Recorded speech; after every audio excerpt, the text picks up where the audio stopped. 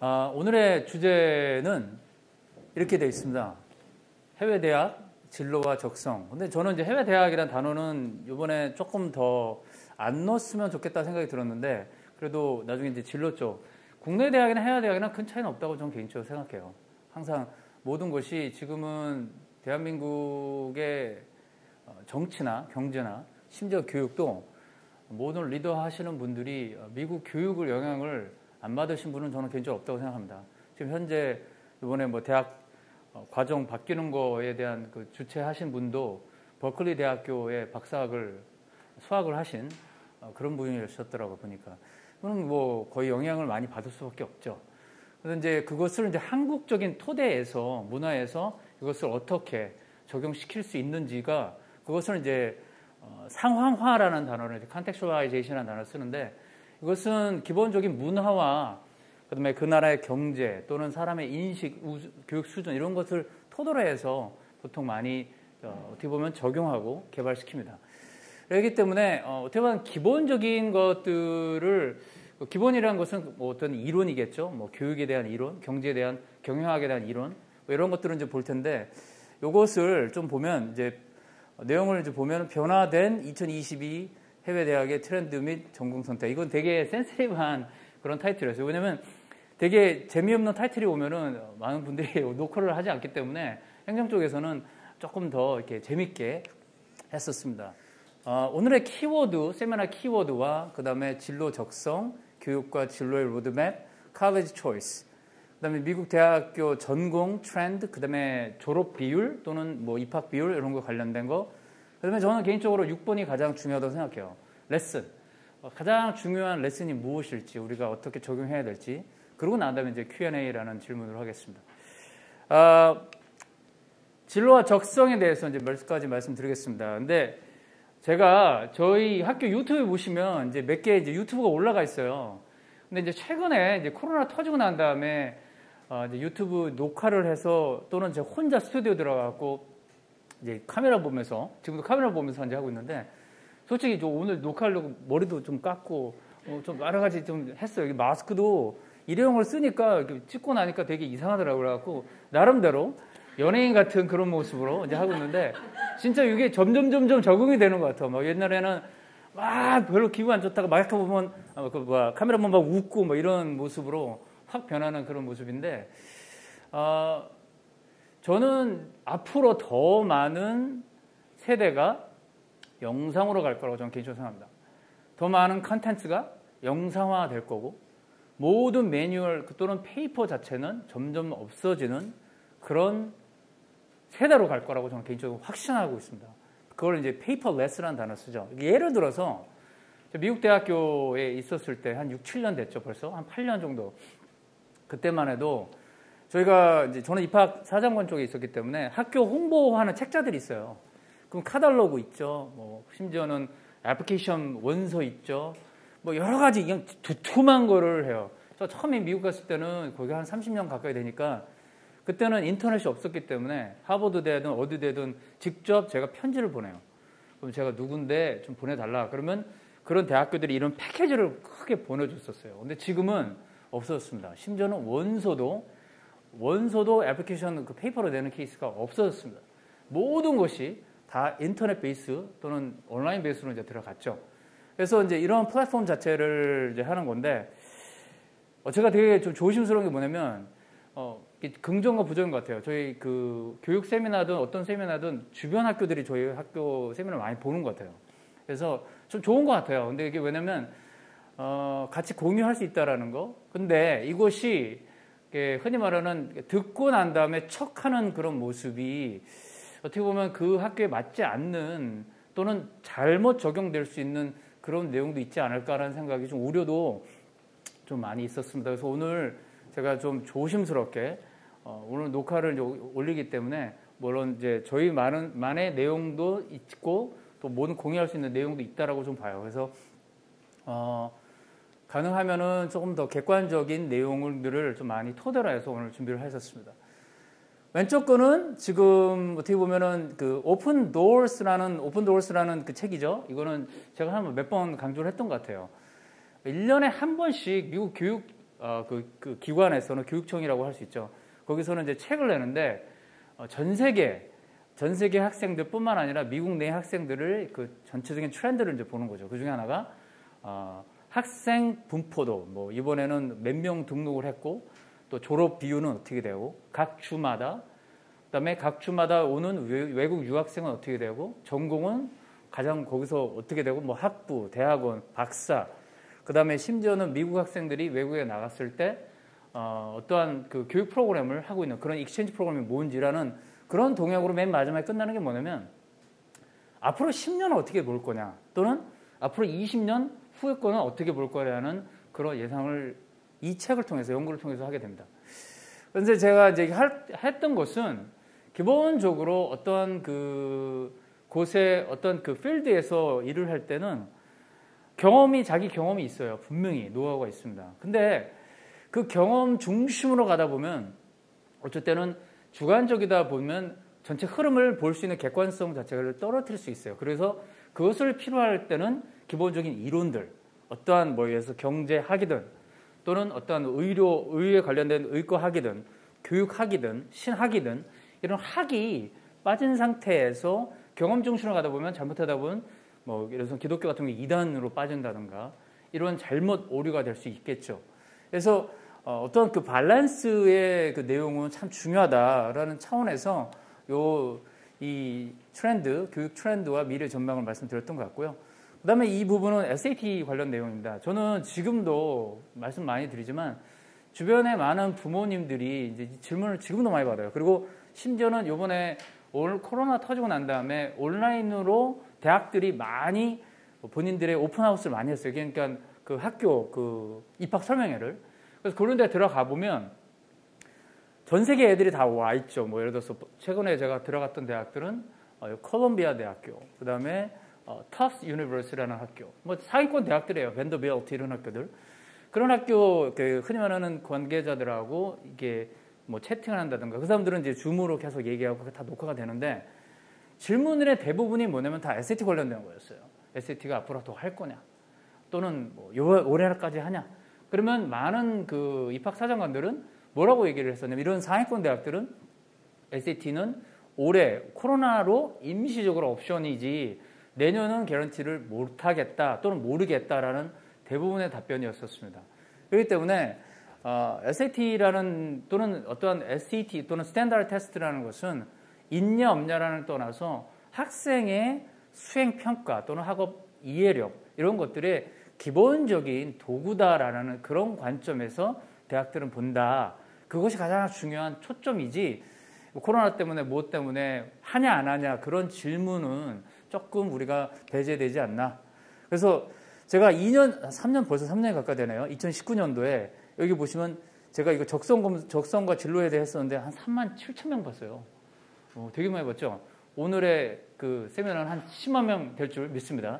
그래서 어, 이걸 보면서 이 타픽 자체가 정말 많은 분들이 뭐 제자부터 대단한 내용은 아니었던 것 같아요. 근데 많은 분들이 관심이 있는 것 같다. 이때 제가 이거 저희 학교 유튜브 있는데 별 프로그램 다 얘기했던 것 같아요. 그 중에 하나가 뭐 MPT, MBTI 또는 Strength Finder 뭐 여러 가지 적성에 관련된 것들을 어떻게 어떻게 어떻게 해야 된다라는 그런 이론들과 그런 내용들을 하나씩 설명을 많이 했어요. 그래서 한번 시간이 되실 때 꼭 보셨으면 좋겠고요.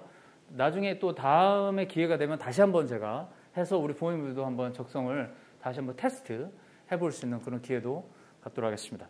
오늘의 키워드입니다. 오늘의 키워드는 기승전결입니다. 기승전결의 의미를 저는 한문을 잘 몰라요. 옛날에는 저희 때 저희 세대 때는 한문을 대학교 시험 때 꼭 적용이 돼 갖고 공부를 했었는데 안 하니까 까먹더라고요. 근데 다시 한번 이제 요번에 사전을 찾아봤는데 기승전결이라는 뜻. 그 다음에 두 번째 키워드는 믿음이라는 뜻입니다. 기독교 관점에서 어, 오늘의 그 진로 또는 적성을 두 개를 어떻게 봐야 될지라는 그런 관점에서 키워드를 이제 두 개로 이제 했습니다. 기승전결. 기승전결의 의미를 이렇게 어, 사전에서 얘기를 하더라고요. 글을 쓸 때 문제를 제기하는 것을 기, 그 문제를 전개하는 것을 승, 결정적으로 방향을 한번 전환하는 것을 전, 거두어 끝맺는 것을 결이라 함. 자, 쉽게 얘기하면 서론, 본론, 결론입니다. 그렇죠? 다시 한번 볼게요. 쓸때 문제를 제기하면 그것이 introduction이에요. 서론이에요. 문제를 제기. 그래서 그 문제를 승화시키는 거죠. 점점 점점 발전시키는. 그걸 어떻게 발전시킨다는 그 방법론이 이제 구체적으로 제가 설명을 드릴 겁니다. 그러고 난 다음에 그 방법론을 설명을 하고 결정적으로 방향을 한번 전환을 거는 결과적으로는 어떤 특정 포인트 또는 어떠한 추천 또는 어떠한 정의 또는 recommendation 쪽으로 가는 것이 이제 전으로 돼서 그러고 난 다음에 conclusion 또는 어떤 advice로 결론을 이제 맺는 거죠. 이 지금 이 아웃라인이 뭐냐면 오늘 저희 9학년부터 이제 제가 이제 12학년까지 숙제를 저희 저는 이제 research paper를 이제 가르치고 있는데 리서치 클래스를 9학년부터 저희 학교는 해요. 왜 그러냐면 미국 대학 특히 해외 대학 같은 경우는 리서치 관련된 글들을 기본적으로 2년을 요구를 합니다. 어, 그 2년을 요구하는 것 중에 하나가 뭐냐면 어떤 문제를 파악하기보다는 어떠한 그 전공이나 어떠한 그 필드에서 본인이 관심 있는 분야가 무엇인지를 먼저 파악을 하는 그런 목적으로 리서치를 먼저 얘기를 해줍니다.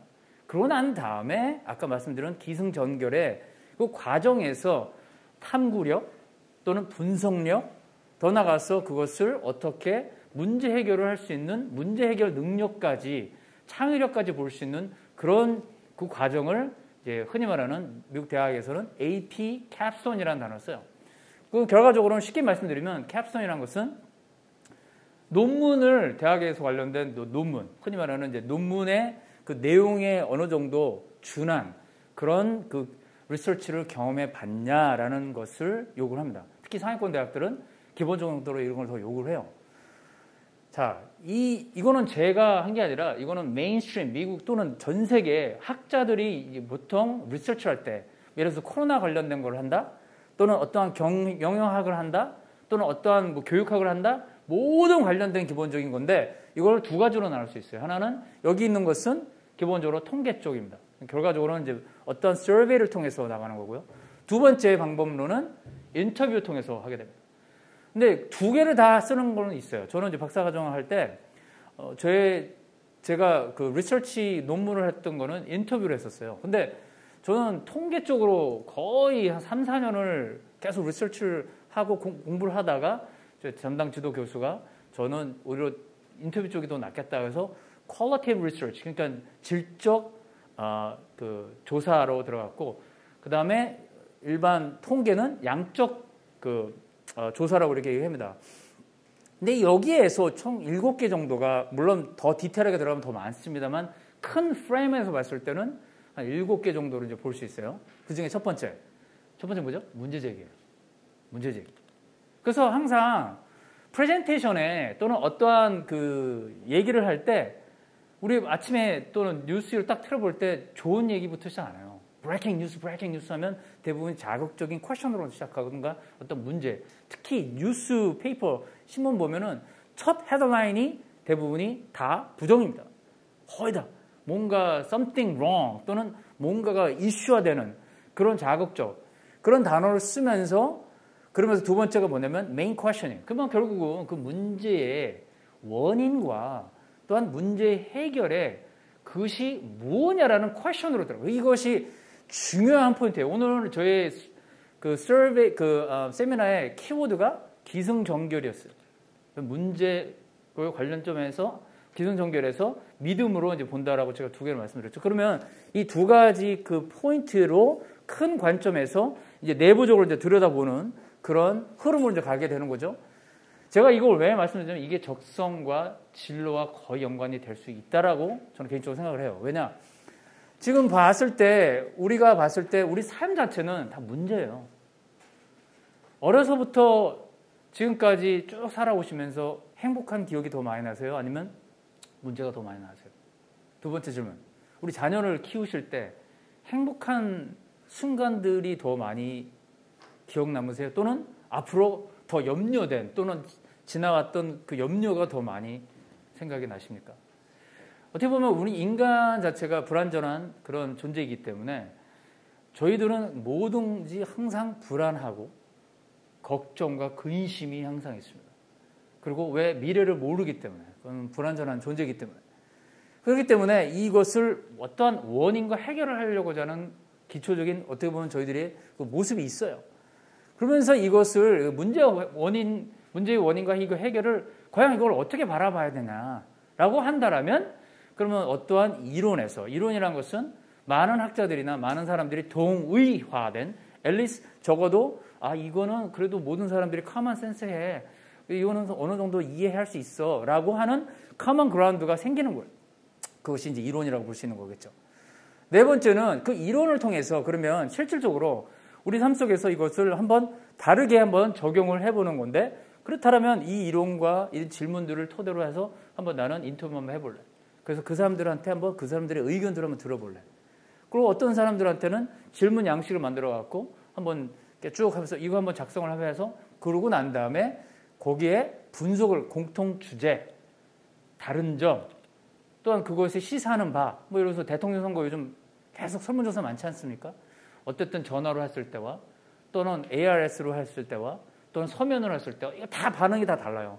그것을 통해서 제일 중요한 게 뭐냐면 그랬을 때 그 주제가 어떻게 되냐? 그 다음에 해결 방법론. 그럼 결과적으로는 내 의견보다는 결국은 2번을 향한 3, 4, 5가 결국은 6번으로 어떻게 될 수 있는지란 단원으로 이제 해결 방법론이 나오면서 방법론도 이렇더라라는 것이 아니라 다시 돌아가서 3번을 토대로 해갖고 방법론은 이렇더라. 또는 5번을 통해서 이렇더라라는 종합적인 것으로 이제 나가는 거죠. 그럼 마지막으로는 furthermore questions. 결국은 앞으로의 유사 문제에 관한 조사 및 질문. 교육학은 절대로 점으로 끝나지 않는다라고 얘기합니다. 왜? 어떤 문제를 해결했을 때 그 다음에 비슷한 유사한 이슈들을 관심을 가졌을 수밖에 없다는 거예요. 그것을 토대로 해서 내가 더 ing 할 수 있는 comma가 되는 거예요. 또는 question mark가 되는 거예요. 어떤 이론도 어떤 논문도 절대로 나는 이것을 통해서 나의 모든 이론이 끝났다라고 얘기하지 않습니다. 거기엔 부족한 점이 나오고 보완해야 할 부분이 나오고 더 나가서 이런 분야를 좀 더 리서치해야 돼서 해야 된다라는 그런 공감대 또는 어떤 질문을 통해서 많은 분들한테 동기로 끝납니다. 자, 이게 오늘 이제 저희 학교 아이들이 이제 9학년 뭐 되게 어렵죠. 되게 어려운 내용인데 이거가 힘든 것 중에 가장 힘든 게 뭐냐? 생각의 관점 포인트라는 것입니다. 생각의 관점 포인트.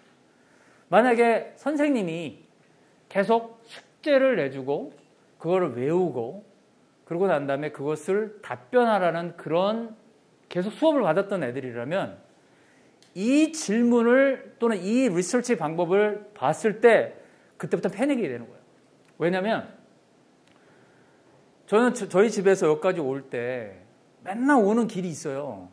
그런데 어느 날 갑자기 차가 딱 쓰고 난 다음에 옆에를 보니까 어 제가 좋아하는 설렁탕집이 있다는 걸 처음 알았었어. 왜냐하면 나는 맨날 신호등만 보고 운전했던 그것만 봤기 때문에 옆에 있는 볼 수 있는 시각이 있음에도 불구하고 볼 수 없는 그런 나의 모습을 지난 몇 년 동안 봤다라는 거예요. 우리 자녀들이 학교에서 공부를 할 때나 또는 어디서 공부할 때나 부모님을 학원을 다닌다든가 부모님 얘기할 때 하는 그 패턴이 있습니다. 그 패턴에서 조금만 한 발치만 바꾸면 얼마든지 벗어날 수 있는 또는 다르게 볼 수 있는 관점 시각을 우리는 쉽게 경험하지 못한다는 것이 가장 큰 포인트라는 거예요. 그러나 예를 들어서 이제 그런 어떻게 보면 주입식 교육 또는 외우고 그냥 단답형으로 하는 학생일수록 문제 제기는커녕 2번 문제에 대한 원인과 해결에 대한 질문도 어렵뿐더러 이 과정에서 맨 마지막 6번 이걸 어떻게 제안해야 된다라는 그런 질문도 하기 어려워요. 되게 어려워요. 그래서 이 과정은 정말로 한 최소 5년에서 10년의 그 과정을 요구하는 그런 어떻게 보면 하나의 교육 과정이라고 저는 개인적으로 생각합니다. 이걸 이제 영어로 보니까 human growth라는 단어를 쓰더라고요. 우리가 이제 커가면서 하죠. 자, 태어나서 쭉쭉쭉 성장하다가 지금 이제 어떻게 보면 맨 마지막에 우리는 어떻게 보면 이제 예수님 만나러 갑니다. 자, 예수님 만나러 갈때 어, 우리 부모님들은 대략 어디쯤에 계신다라고 생각하세요? 여기에서? 어, 제가 좀 이따가 이제 마크를 할 건데 나중에 이제 뭐 답변하실 필요는 없고요. 어, 어디쯤이다라면 대부분이 여기서부터 여기까지일 것 같아요. 여기서부터 여기까지. 그렇죠? 저도 가만 생각해 보니까 일할 나이가 얼마 안 남았어요. 네. 좀 있으면 이제 진짜 한갑 얼마 안 남은 것 같고. 네. 그리고 좀 있으면 이제 저희 부모님들도 천국 가실 것 같고. 어, 대부분 슬픈 그런 현실인 것 같습니다. 근데도 불구하고 하나님을 믿는 자녀이기 때문에 또 영생의 소망도 있고. 그런데 한편으로는 걱정이 되는 거예요. 우리 자녀들의 앞으로의 그 모습. 우리 부모님도 그러셨어요. 우리 부모님도 저는 부모님과 같이 거주하고 있는데 어, 저희 어머니가 2주 전에 허리를 좀 다치셨어요. 누우셔갖고 제가 이제 허리 이렇게 마사지를 하는데 어, 옛날 나이 드신 분들은 옛날 얘기 많이 하잖아요. 그래서 이제 앉았다 가면 이제 옛날 얘기를 쫙 하세요. 우리 엄마 그런 분이 아니었는데 그렇게 됐어. 아, 그렇게 되시더라고요 또. 그러면서 이제 여러 가지 얘기를 하는데 아, 참 마음에 좀 찡한 얘기들을 참 많이 하셨는데 나중에 좀 더 말씀드릴게요. 근데 그 어머니의 모습을 보면서 어 나도 얼마 안 남았다 진짜로 얼마 안 남은 거예요 진짜로 한 10년 20년 앞으로 제가 이제 50, 저 50인데 내년이 50인데 내가 앞으로 한 스노보드를 몇 년 탈까? 뭐 이런 생각 많이 하고 요즘은 아, 이 허리가 이제 아파가기 시작하네 뭐 이런 것들 자전거 타면 얼마나 탈까? 이러면서 어, 오늘 오늘이 아, 정말 중요하다는 생각이 더 많이 들어가는 거예요. 그러면서 아이들을 이제 바라보죠. 그러면 그 마음 가운데 뭐는 조급함이 생겨요. 긴장이 되고 더 나가서 답답해요. 답답해. 왜? 나는 이런 과정을 다 밟아왔기 때문에. 기승전결을 좀 더 breakdown 해보겠습니다. 여기에서 지금 이제 문제 제기와 문제의 원인에서 기는 introduction 부분이죠. 서론이에요. 자, 이 서론을 삶에서 서론을 어디라고 한번 생각하시는 줄 봤으면 좋겠어요. 우리 삶에 있어서 서론의 introduction이 어디부터일까? 그러면 대부분이 10, 10살 미만이에요. 10살 미만. 그렇죠? 그때가 가장 이런 인성이나 또는 생각이나 여러 가지 그 캐릭터 보들이 building된 그런 시기라고 보통 얘기하고 이중 언어가 가장 완벽하게 되는 시기가 10살이라고 얘기를 합니다. 10살 미만. 그때 했을 때 second language 자체가 그 다음 adaptability 그는 갖고 오는 그, 그 모든 일들이 어마어마 그래서 애들은 정말 빨리 외우잖아요. 저는 제 둘째 녀석 보면서 너무 놀래요, 진짜. 심지어 BTS 노래 한번 들었다면 다 외워버리더라고요. 무서워. 그 정도로 듣고 읽고 보고 하는 것들이 그냥 스펀지처럼 팍팍 빨아들여. 그게 언제? 10살 내외로 되는 거예요. introduction입니다. 그런데 거기에 대해서 우리가 문제의 원인과 해결을 봤을 때 가장 중요한 거 여기 인트로는 결과적으로는 원인과 요소와 영향 cause and effect 또는 cause and fact, factors and effect 이 두 가지를 보는 거예요.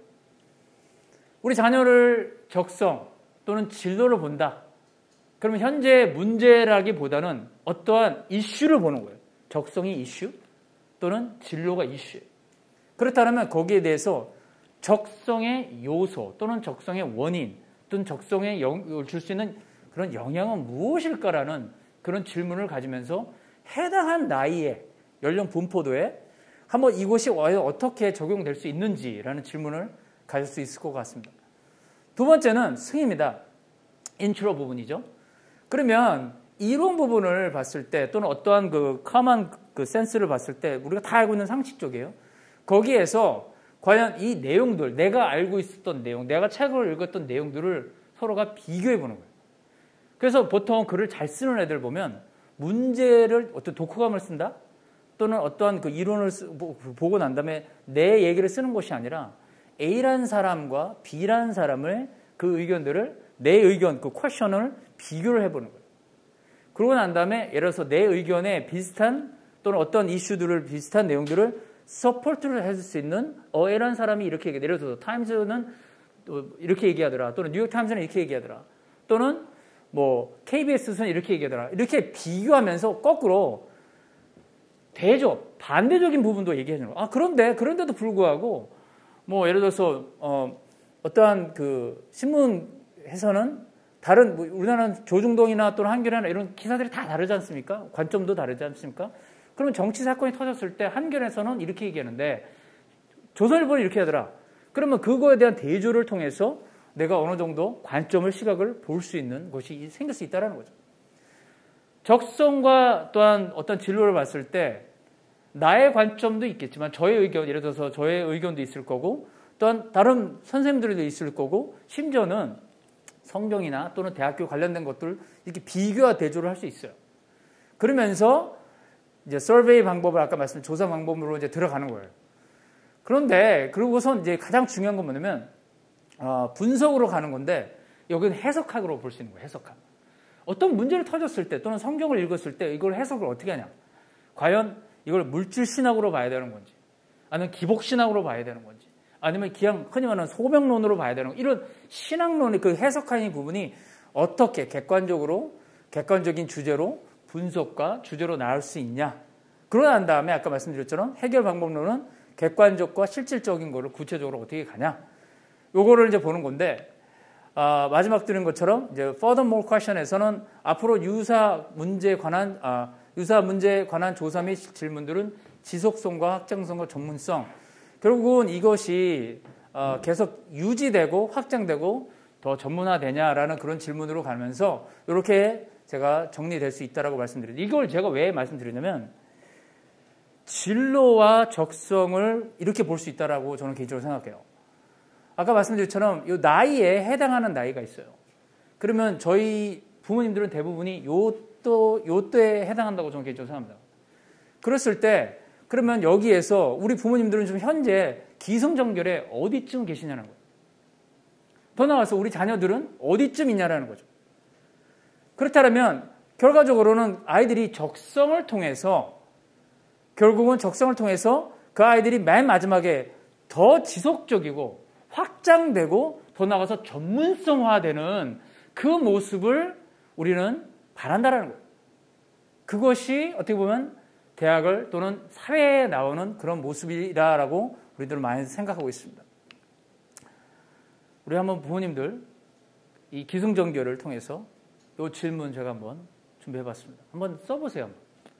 우리 부모님들. 나는 지금 꿈이 있는가? 라고 한다면 어떻게 답변하시겠습니까? 어려서 꿈은 있죠. 그런데 지금은 꿈이 과연 내가 있을까라는 질문을 하신 분들이 참 많아요. 그러면 막 꿈이 있다라면 어떤 꿈이세요? 좋고 안 좋고를 떠나서. 두 번째, 나 자신을 형용사 5 단어로 표현한다면 어떻게 표현할 수 있는가? 쉽게 얘기하면 아름다운 이민호, 그렇죠? 아름다운 또는 뭐 스마트한 그게 명, 명철한 단어 또는 믿음의 뭐 여러 가지 표현을 할 수 있을 것 같아요. 그 다섯 단어의 그 형용사를 쓴다라면 어떻게 될 건가? 세 번째, 나의 삶 속에서 나의 관점과 삶을 변화시켜 주었던 특별 활동 또는 일터에서의 경험은 무엇이었나? 어, 여러 가지 터닝 포인트가 있죠. 그렇죠? 어떠한 봉사 활동도 있을 거고요. 심지어는 어떠한 뭐 저희 학교 같은 경우는 무슨 뭐 케이팝 댄스 같은 경우나 어떤 어 여러 가지 취미 활동이나 또는 일터에서 직장 생활을 통해서 어떤 상사를 통해서 여러 가지 경험들이 분명히 있을 겁니다. 그러면 거기에서 변화를 경험한 그런 순간들이 있었을 거예요. 그게 무엇이었을까? 그리고 마지막으로 네 번째는 나의 삶 속에서 가장 어려웠던 순간을 어떻게 극복, 해결했으며 그 안에서 무엇을 배우는가라는 질문입니다. 이것을 한번 나라는 단어를 빼버리고 우리 자녀 이름 한번 넣어보세요. 우리 자녀 이름. 우리 아이 누구는 지금 또는 지금도 꿈이 있는가? 우리 자녀를 다섯 단어로 표현한다면 나는 어떻게 표현할 수 있을까? 우리 아이가 학교 생활 지금까지 학교 생활을 했겠지 않습니까? 무슨 걔가 일을 하는 것도 아니고 학교 생활을 하면서 신앙생활 하면서 그 삶을 바뀌어줬다. 그 생각을 바꿔줬다. 그 순간들이 과연 또는 그 사람들이 누구였을까라고 한번 질문 한번 해보세요. 그러면서 어려웠던 것들을 어떻게 극복하고 해결하면서 우리 아이들은 무엇을 배웠을까? 요거를 또 하나 아까 말씀드린 것처럼 더 진화된다면 미래형으로 바꾸는 거예요. 나는 꿈이 있, 계속 있는가? 앞으로 다섯 단어를 나는 계속 가질 수 어떻게 가질 수 있는가? 마지막으로는 어떻게 더 해결하고 무엇을 배울 수 있을까라는 나는 누구 어떻게 될까라는 그런 미래형으로 바꾼다는 것입니다. 그러면서 질문, 현실적인 질문입니다. 현재 내가 종사하고 있는 직업이 내가 어려서부터 기대했던 직업이었나? 제가 봤을 때 많은 분들이 답변을 못할걸요? 저는 제가 오늘의 이 순간 이렇게 될 줄 몰랐습니다. 정말 몰랐습니다. 그리고 어, 뭐 좋아는 했지만 이렇게 꼭 해야 된다라는 생각을 가져본 적은 없어요. 저는 목사예요. 목사가 되고 싶어서 목사 되지도 않았어요. 그러니까 하나님 시키셔서 했지. 교육학을 하라는 것도 어, 나 교육학 하고 싶어서 한 것도 아니었어요. 그냥 흐름에 그냥 끌리면서 가게 된 거예요. 물론 관심은 있었어요. 근데 어떠한 특정 목표를 위해서 내가 교육학을 하고 어떠한 특정 목표를 위해서 내가 신학교 가서 막 출연을 받고 그러지 않았어요. 과정에서 제가 저를 발견을 했었어요. 아마 많은 부모님들이 요, 이, 이, 요, 첫 번째 질문은 아마 어려우실 거라고 생각해요. 근데 더 나가서 우리 자녀들을 한번 바라보는 거예요. 우리 자녀들이 생각하는 또는 앞으로 하는 우리 부모님들의 기대와 우리 자녀들의 기대가 과연 이 1번 그 퀘션에 과연 적용이 계속 될까라는 질문입니다. 우리 아이들의 세대 안에서도 두 번째, 현재 종사하고 있는 직업이 나의 평생 직장으로 생각될 수, 할 수 있나? 평생 직장. 요즘에 우리 한국 사회는 큰 이슈죠. 미국도 마찬가지로 보면 지금. 미국도 평생 직장, 특히 교수, 대학교 교수 평생 직장이 없었다는 지가 꽤 됐어요. 뭐 돈 더 많이 주면 또 그쪽으로 가고, 뭐 심지어는 어떤 환경 도와주면 그쪽으로 가고, 이런 관계는 꽤 됐습니다. 내가 지금 직장에서 퇴사한다면 나는 지금 당장 무엇을 시작할 수 있는가? 지금 은퇴하시면 지금 뭐 하고 싶으세요? 또는 어떤 거 하실 수 있으실 것 같으세요? 불안한 질문이죠. 마지막으로 오늘의 변하고 있는 시대 흐름과 많은 사람들이 선호하고 있는 일들을 명확히 파악하지 못한 나 자신을 바라볼 때 나는 어떠한 마음을 갖고 있는가? 비트코인, 부동산, 주식, 요즘 센스티브한 그 단어 아닙니까? 원자재, 환율, 메타버스, 메타버스는 또 뭔지도 모르겠어요. 희한한 가상 공간, 얼스라는 그런 프로그램을 통해서 하루에 한 달에 3억씩 번다는 애도 있고, 그것도 중고등학교에 가. 그 별의별 얘기가 많이, 많이 나와. 근데 이런 얘기를 들으면 우리 부모님들은 저도 마찬가지지만 불안해요. 왜? 내가 모르는 지대기 때문에. 그렇죠. 불안하죠. 남은 다 하는데, 남은 주식도 하고, 남은 부동산 투기도 하고, 다 하는데, 나는 안 하니까 뭔가 조금 도태되는 느낌? 뭔가 흔히 말하는 경쟁에서 밀리는 느낌? 요거를 그대로 우리 자녀한테 한번 적용해 보세요. 쟤는 저것도 하고 쟤는 저것도 하는데 우리 애는 이것도 안 해. 쟤는 학원을 일곱 여덟 개를 다니고 있는데 우리 애는 한 개, 두 개밖에 안 돼. 쟤는 SAT 점수가 저렇게 막 높고 있는데 우리 애는 이거밖에 안 돼. 그랬을 때 어떠한 마음을 아이와 부모는 가질 수 있을까? 라는 질문입니다. 그런데 그게 해결이 됐다라고 해서 메타버스나 주식이나 부동산이나 비트코인이 해결됐다고 다음에는 이런 이슈가 또 없을까요? 다른 제2의 메타버스나 환, 환율이나 또는 비트코인 또 나올 겁니다. 그래서 질문이 뭐냐면 문제 해결에 대한 관점이라는 거예요. 또 다른 문제 한번 볼까요? 2021년 학년도와 학력 우리나라죠 이게 지금 학령 인원 감소에 따른 폐교예요. 지금 봤을 때 대학 입학 정원은 2018년 기준인데 대학 신입생 수에 비해서 이제는 더 많아졌어요.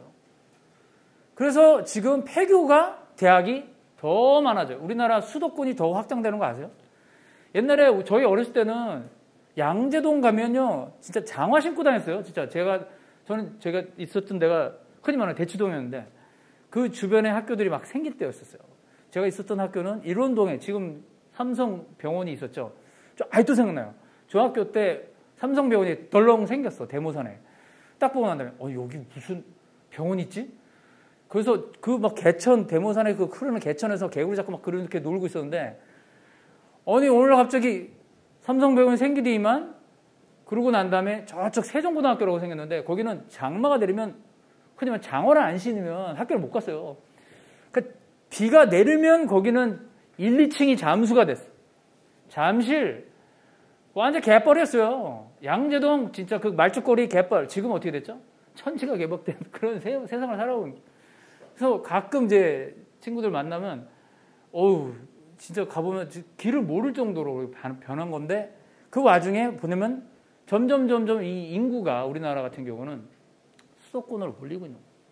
그러면 지방대는 어쩔 수 없이 문을 닫든가 두 번째 외국 학생을 더 받든가 이건 어쩔 수 없는 현실이라는 거예요. 그래서 지금 현재 봤을 때 이게 이게 문제입니다. 잘 들으세요. 우리가 현실의 문제, 대한민국의 현실이에요. 그럼 현재 인구 추계가 지금 계속 다운되고 있어. 교회는 더 걱정되는 일이에요. 심지어는 비즈니스도 마찬가지예요. 현재 출생 사망의 인원에서 사망이 더 많습니다. 출생보다. 이게 지금 현재 우리나라 정부에서 가장 우려하는 거죠. 유초등고등학교 추이세 보세요. 인구가 더 늘면, 줄면서 다문 학생은 더 많이 늘어요. 이게 어쩔 수 없는 선진국의 전적인 트렌드, 흔히 이게 형태입니다. 미국 같은 경우 미국의 백인들은 줄지 오히려 유색인 종들은 더 늘어요. Spanish, Hispanic 쪽이나 또는 흑인 쪽이나 아시아 쪽 이민자들은 더 많이 늘지 백인 애들은 조금씩 더 준다라고 그래서 또 큰 데가 mega city 같은 데 가면 백인들은 다 빠져나가 있어요. 다 빠져. 우리나라도 지금 서울 인구 줄잖아요. 하지만 점점점 수도권 쪽으로 몰리면서 지방 대학들이나 지방 도시는 점점 더 인구가 감소된다는 것입니다. 그러면서 이것이 봤을 때 이제 교육 자체는 점점 줄지만 대학원들은 더 는다. 저는 이게 큰 포인트였던 것 같아요. 왜? 전문성을 더 요구한다는 거예요. 전문성. 대학원 쪽으로. 학년 인구 자체가 봤을 때 지금 저희가 좀 마크한 것이 잘 안 보이시겠지만 이게 지금 현재 지금 인구 절벽으로 돼 갖고 이제는 국내 대학을 죄송하지만 못 가는 애들은 없습니다. 없어요. 심지어 해외 대학도 마찬가지예요. 대학을 못 가? 안 해요. 대학 다 가요. 근데 내가 원하는 대학이 힘든 거지. 그렇죠? 경쟁이 있어서. 주일학교 아, 참, 참 교회 수도 줄지만 인구도 줄면서 아이들이 주일학교 교회들이 확 줄어버린 거예요. 앞으로 한 20년, 30년 있으면 현재 교회가 특히 대형 교회들이 잘 갈까? 잘 갈 수 있을까? 유지가 될까? 이런 질문들이 참 많이 되는 것 같아요. 그래서 여기 보시면 뭐 신앙 교육에 대한 어, 약화도 있지만 또 교회가 또 여러 가지 수준이 떨어지고 비교적인 교육에 학교에 또 영향도 있다라고 그런 통계들이 있습니다. 자, 유학, 해외 유학생들은 더 많아지죠 우리나라. 이 중에 제일 많은 나라가 중국이에요. 그 다음이 어, 요즘은 점점 좀 많은 게 몽골, 그 다음에 뭐 대, 뭐 이게 동남아시아 쪽 이런 쪽으로 이제 베트남 이런 쪽으로 가더라고요. 그러면서 대학들은 이제부터 제가 이거 몇 년 전에도 제가 한번 강의를 했던 것 같아요. 계속 우리나라가 globalization이라는 단어 쓰죠. international internationalization과 globalization의 큰 차이점은 뭐냐면 기본적으로 globalization 그러면 국 그러니까 어, internationalization은 무역을 보통 얘기를 하고요. globalization은 문화와 경제와 정치 이런 다양한 것들을 얘기를 합니다.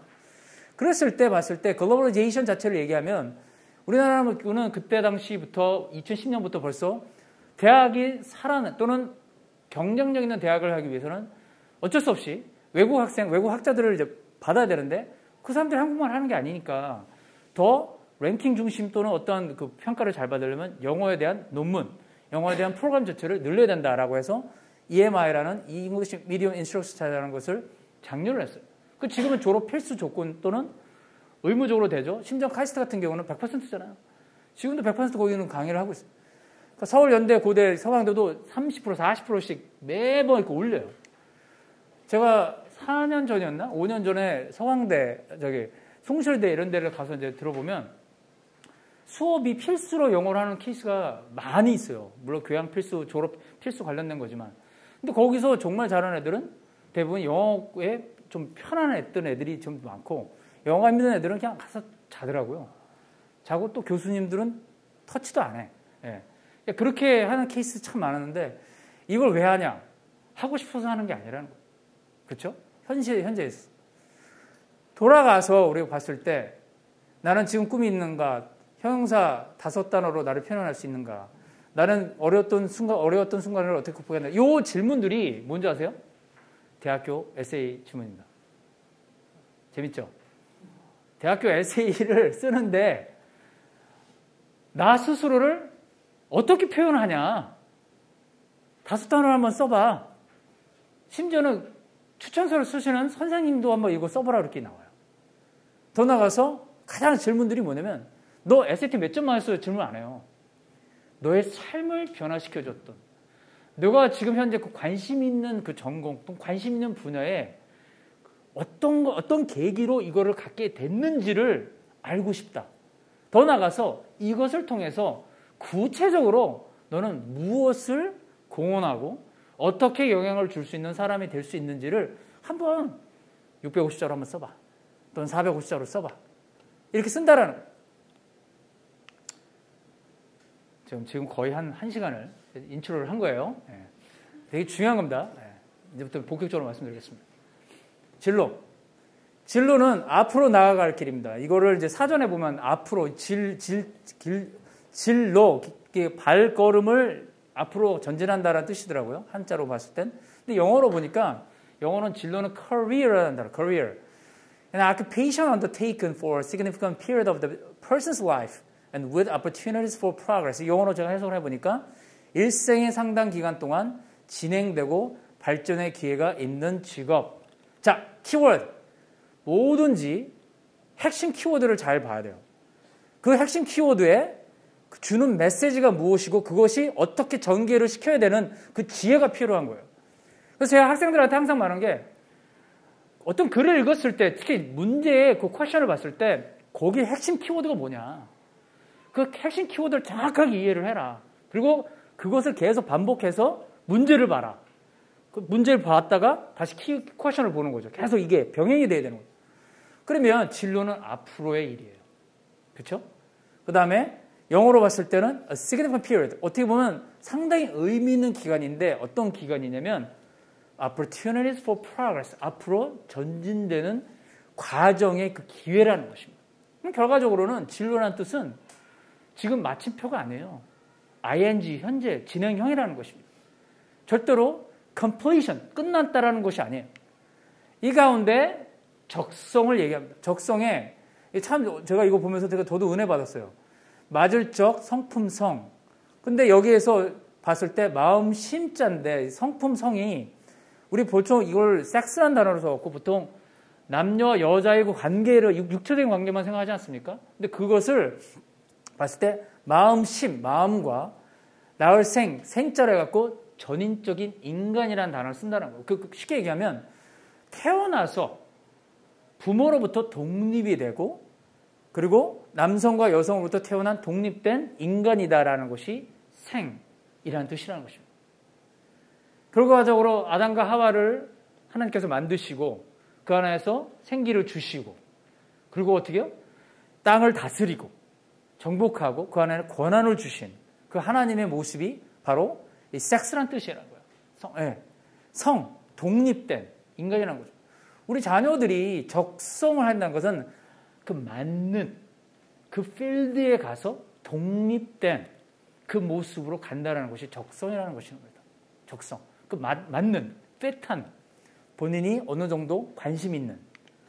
그러면 어떤 일에 말맞은 성질이나 적응 능력, 그와 같은 소질이나 성격, 사람의 특성 중에서 적성, 적성은 개인이 특정 분야에서 능력을 발휘할 수 있는 잠재력으로서 직업을 선택하고 잘 수행하는 데 필요한 요소로 인식되고 있다. 자, 키워드는 알맞은, fit. 두 번째, potential, 잠재력이라는 뜻입니다. 오늘 개념을 봤습니다. 적성과 진로에 대한 개념을 봤어요. 그러면 우리 자녀들을 봤을 때 과연 그 아이가 갖고 있는 그 기질에서 성격에서 과연 알맞는 그 분야는 무엇이고 더 나가서 더 potential 있게 성장할 수 있는 잠재력이 있는 필드는 무엇일까라는 그런 관점에서 적성과 또한 진로를 봐야 된다는 것입니다. 그러니까 미국의 사례를 이제 봤는데 어, 이전에 제가 그 Common Core Standard라는 단어를 썼었어요. 교육과 진로의 로드맵에 가장 중요한 것이 저는 오늘 말씀드린 Common Core Standard라고 생각합니다. 그래서 쉽게 얘기하면 CCSS라는 단어 를 쓰는데 조지 부시 때는 기본적으로 아동나고 방지법이라는 단어를 써갖고 시험을 통해서 평가를 했어요. 어, 시험에 와서 좀 더 많은 성향을, 결과를, 어치먼트 자체를 높이려고 노력했어요. 그래서 결과 중심으로 갔는데 오바마 정부 들어와갖고는 과정 중심으로 해갖고 학생 성공으로 얘기했어요. 그 중에 하나가 제일 저기 제가 이전에도 말씀드렸는데 reduce the burden of the testing. 결국 시험 자체를 많이 줄이고 숙제를 좀 줄여라. 그러고 난 다음에 더 promote the local innovation and invest in what works. 결과적으로는 더욱더 창의적이고 생각할 수 있는 그런 일에 더 많은 시간을 할애할 수 있는 커리큘럼을 해라 라고 해서 만든 것이 Common Core State Standard입니다. 현재 미국의 50주에서 정확하게 말씀드리면 42주가 좀 사용하고 있어요. 제가 처음 미국 갔을 때는 각 주마다 영어, 수학 모든 과목들이 다 교과서가 달랐어요. 그리고 지금도 영어, 수학을 제외하고는 다 다릅니다. 예. 각 주마다 science도 다르고요. 각 주마다 history도 달라요. 왜 다르냐? 주마다 역사가 다 다르기 때문에. 하지만 공통적으로 통합을 시킨 게 바로 영어, 수학이에요. 그리고서 그 관점을 어디다 통합을 시켰냐면 이거 많이 찰도 보셨을 거예요. 바로 4Cs라는 단어. 영역이 총 하나, 둘, 셋. 그 다음에 여기, 여기 쭉 보시면 이렇게 쭉 돼 있죠. 그래서 첫 번째, learning and innovation skills. 그 4Cs라는 쓰죠. 그것도 critical thinking skill, communication, collaboration, creativity. 이거 나중에 제가 브레이크다운 다 할게요. 그 다음에 그 안에서 콜 서브젝이 있어요. 그 안에 콜 서브젝. 그런 주요 과목들, 주요 분야들 세 가지를 이제 얘기할 건데 그것이 21세기를 살아가고 있는 미국 또는 글로벌한 교육이다라고 얘기를 하는 거예요. 그 다음에 두 번째는 life and career skills. 아까 말씀드린 것처럼 이런 공부를 하면서 진로와 그 삶에 있어서 앞으로 해야 할 적성은 무엇인지를 또 여기서부터 강조하는 거예요. 그러고 난 다음에 information, media and technology skill. 결과적으로는 그러면서 정보와 미디어와 기술의 실력도 병행이 돼야 된다라고 얘기하는 것이 Common Core Standard라는 것입니다. 많은 분들이 Common Core Standard 우리도 해요. 우리도 흔히 말하는 그 텍스북 쓰고 있어요. 라는 단어를 쓰죠. 다시 한번 말씀드릴게요. 척은 할 수 있어요. 하지만 그 안에서 그것을 적용시키는 것은 단순히 경험으로 될 수 있는 게 아닙니다. 절대로. 그래서 그 부분을 여기 보시면 이걸 기준해서 standards and assessment 결과적으로는 어떤 기준에서 평가를 할 거냐 되게 중요한 거예요. 예를 들어서 지금 4C를 배웠고 life career skill을 했었고 어떤 미디어를 information을 배웠는데 그 학생을 어떻게 객관적으로 측정할 거냐 아까 제가 말씀드린 어떠한 데이터로 분석할 거냐라는 것이 중요한 거예요. 이 학생이 스포츠를 잘해. 그래? 그 스포츠를 어떻게 평가할 건데? 수학을 잘해. 어떤 기준에서 할 건데? 무슨 기준에서 할 거냐는. 두 번째는 커리큘럼 그 instruction. 결과적으로는 이것을 통해서 커리큘럼과 instruction 자체는 어떻게 그걸 만들어서 교실 수업에 적용할 거냐는.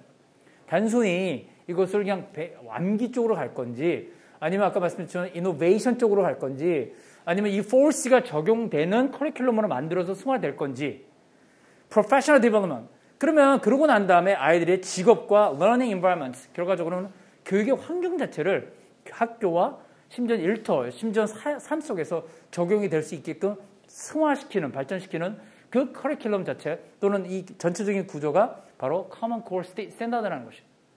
브레이크다운 한번 해볼게요. 이건 제가 한 게 아니라 Core Standard 웹사이트에 나온 건데 제가 쉽게 해석을 해봤어요.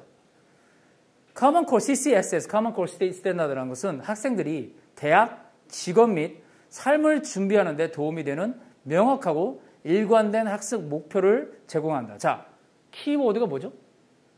이 교육 시스템은 대학이 직업이 그 다음에 삶을 준비하는 데 포인트를 둔 거예요. 그냥 1학년 때 또 유치원 때 와서 그냥 영어 달달달달 잘 외워서 잘 말하는 또는 수학을 잘 풀어갖고 성적 잘 받는 거기에 포인트를 두지 않았다는 것입니다. 그러면서 일관된 학습 목표를 정한다.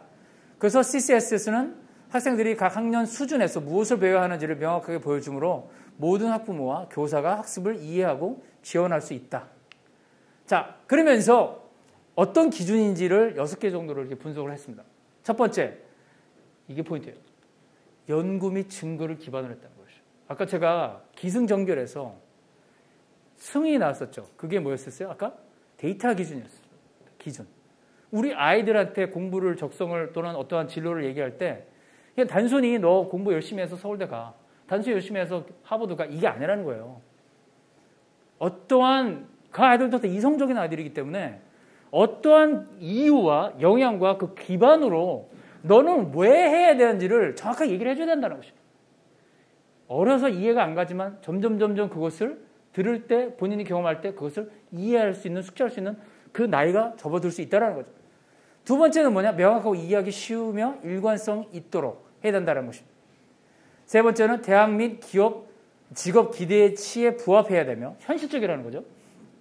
엄격한 내용과 고차원적 사고력을 통한 지식의 응용을 바탕. 자, 이게 참 중요한 것 같아요. Application here, based on the rigorous content and the application of knowledge through higher order thinking skill. 참 이게 되게 중요하다는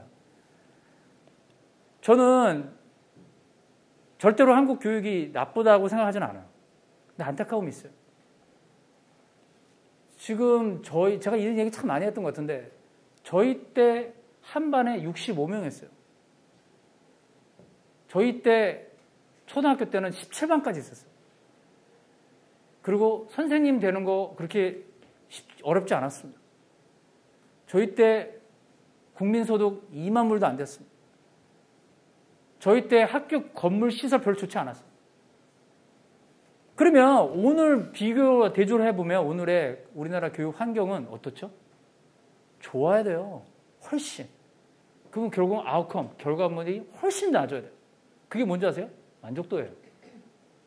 행복도예요. 그쵸? 근데 그게 30년, 40년하고 지금 어떻게 다를까요? 다를 차이가 저는 없다고 생각합니다. 오히려 더 불안하고, 더 경쟁 더 세지고. 근데 아이들한테 요구하는 거는 그때나 지금이나 별 차이가 없다는 거예요. 제 동생이 지금 연대 국문과에 있는데 제가 찜선 말씀드렸죠.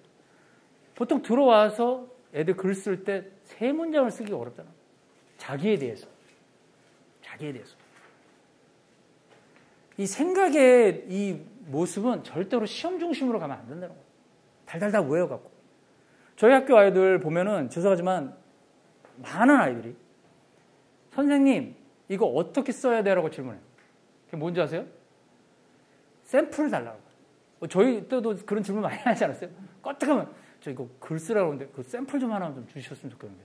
그럼 그거대로 하겠다고. 저 처음에 미국 갔을 때 샘플 달라니까 이해를 못 하더라고요. 왜냐면 저 같은 질문을 거의 안 하니까. 알고 봤더니만 백지장에 만드는 그곳이 너의 샘플이다 이렇게 얘기를 하는 거예요. 다만 기준은 있죠. 기준은. instruction 자체는. 근데 그거를 경험을 안 했기 때문에 그거를 경험하기가 어려운 거예요. 감당하기가 어려운 거예요. 그러니까 계속 떨어지고 실패해보고 막 이런 게 막 다충고 되는 거죠.